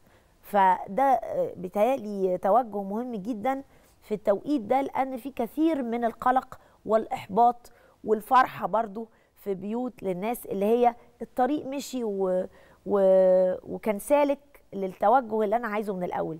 ولكن تاني بفكر الناس وبعيد يا رب ما يزهقوش بس من كتر ال- الإعادة إنه آه، مش بالضرورة خالص إن الاختيار اللي أنا كنت عايزه هو أفضل الاختيار في آية في القرآن الكريم تاني كلنا عارفينها وعسى أن تكرهوا شيئا هو خير وهو لكم. خير لكم وعسى أن تحبوا شيئا وهو شر. لكم مم. فدايما آه، ال- الاختيار كمان الإلهي يعني في دايما حكمة في الأقدار أكيد. إحنا ممكن نكون مش عارفينها ويمكن نعرفها بعدين مع الوقت فلازم إحنا نبقى منفتحين يعني we have to stay open دايما أبقى بستقبل مش قافل ومتشدد مش يا ده يا خلاص. ومتشدد على حاجة واحدة بس وهي دي نهاية العالم. أبدا مفيش نهاية للعالم طالما في حياة في أمل وفي فرصة. لازم أنا بقى أكون جاهز للفرصة دايما. طب لو الرغبة اللي أنا كتبتها ما جاتليش دور الأهل هنا إيه؟ إن هم يساندوا ويدعموا الطالب في في المرحلة دي بإن هو ما يجيلوش اكتئاب ما يتضايقش ما يحسش انه نهاية الدنيا وزي ما حضرتك يكون آه، عنده الاستعداد حتى إن هو يبقى منفتح لاختيارات تانية. يعني ما نقدرش نحرم الأهل من حقهم في الحزن ولا الطالب. لو هو كتب بالفعل رغبة وكان من المحتمل إنها تجيله يعني هو متوقع وبعدين ما جاتش. تاني بنفس الأجهزية بنفس طريقة التفكير إنه زي ما واحد رايح يتجوز واحدة وأهلها رفضوه. مش آخر الدنيا. في آه، ملايين ال- الستات التانيين اللي ممكن يحبوه ويتقبلوه ويبقوا عايزينه. فنفس الحكاية. الاختيار ده ما مشيش في الكليات. في اختيار تاني. ويجوز نفس الاختيار ده بعد شوية آه، أقدر آه، أخده لو في كليات خاصة اتفتحت والأهل عندهم القدرة أو في منح لبعض الكليات الخاصة. برضو ال- الطلبة ما ينسوش إن العالم كبير وفي منح كتير دراسية لو في حد بيدور على تخصص معين ويعني فوكس مركز تماما إن هو عايز يشتغل في. المجال ده ما يخشش آه، على- يعني ما يضيعش فرصة إنه يخش على الإنترنت ويقدم في آه، المنح الدراسية لو الحالة المادية ما تسمحش أو يبص في الكليات الخاصة برضو ويشوف إذا كان في منح دراسية. حتى الجامعة الأمريكية بتقدم منح دراسية ولكن للمتفوقين. مم. فمش بالضرورة إن كل المنح تبقى بنفس الكرايتيريا أو المواصفات فمحدش يفقد الأمل. لأنه لما بنفقد الأمل وبيتملكنا القلق والخوف والإحباط ب- بيصاب بيصيبنا العمى. يعني بنبطل نشوف. ودي يمكن أخطر حاجة. في ال- الوضع الراهن. نشكرك يا دكتورة دكتورة رضوى سعيد. آه، عبد العظيم استشاري الطب النفسي بالقصر العيني كل الشكر ليك يا فندم. وألف مبروك لطلبة الثانوية العامة اللي نجحوا. ويعني بكل مجامعهم. بكل مجامعهم بكل. مجامعهم ألف مبروك. مش مهم أنت جبت 50% ولا 105% ألف مليون مبروك إنك عديت. ولو ما عديتش هتعدي لما تتمالك نفسك وتعيد أوراقك وحساباتك وإن شاء الله يوفق الجميع. إن شاء الله. ميرسي يا دكتور. خلصت حلقتنا. مشاهدينا نشوف حضراتكم إن شاء الله بكرة في نفس الميعاد. بنصبح عليكم. صباح الخير يا مصر.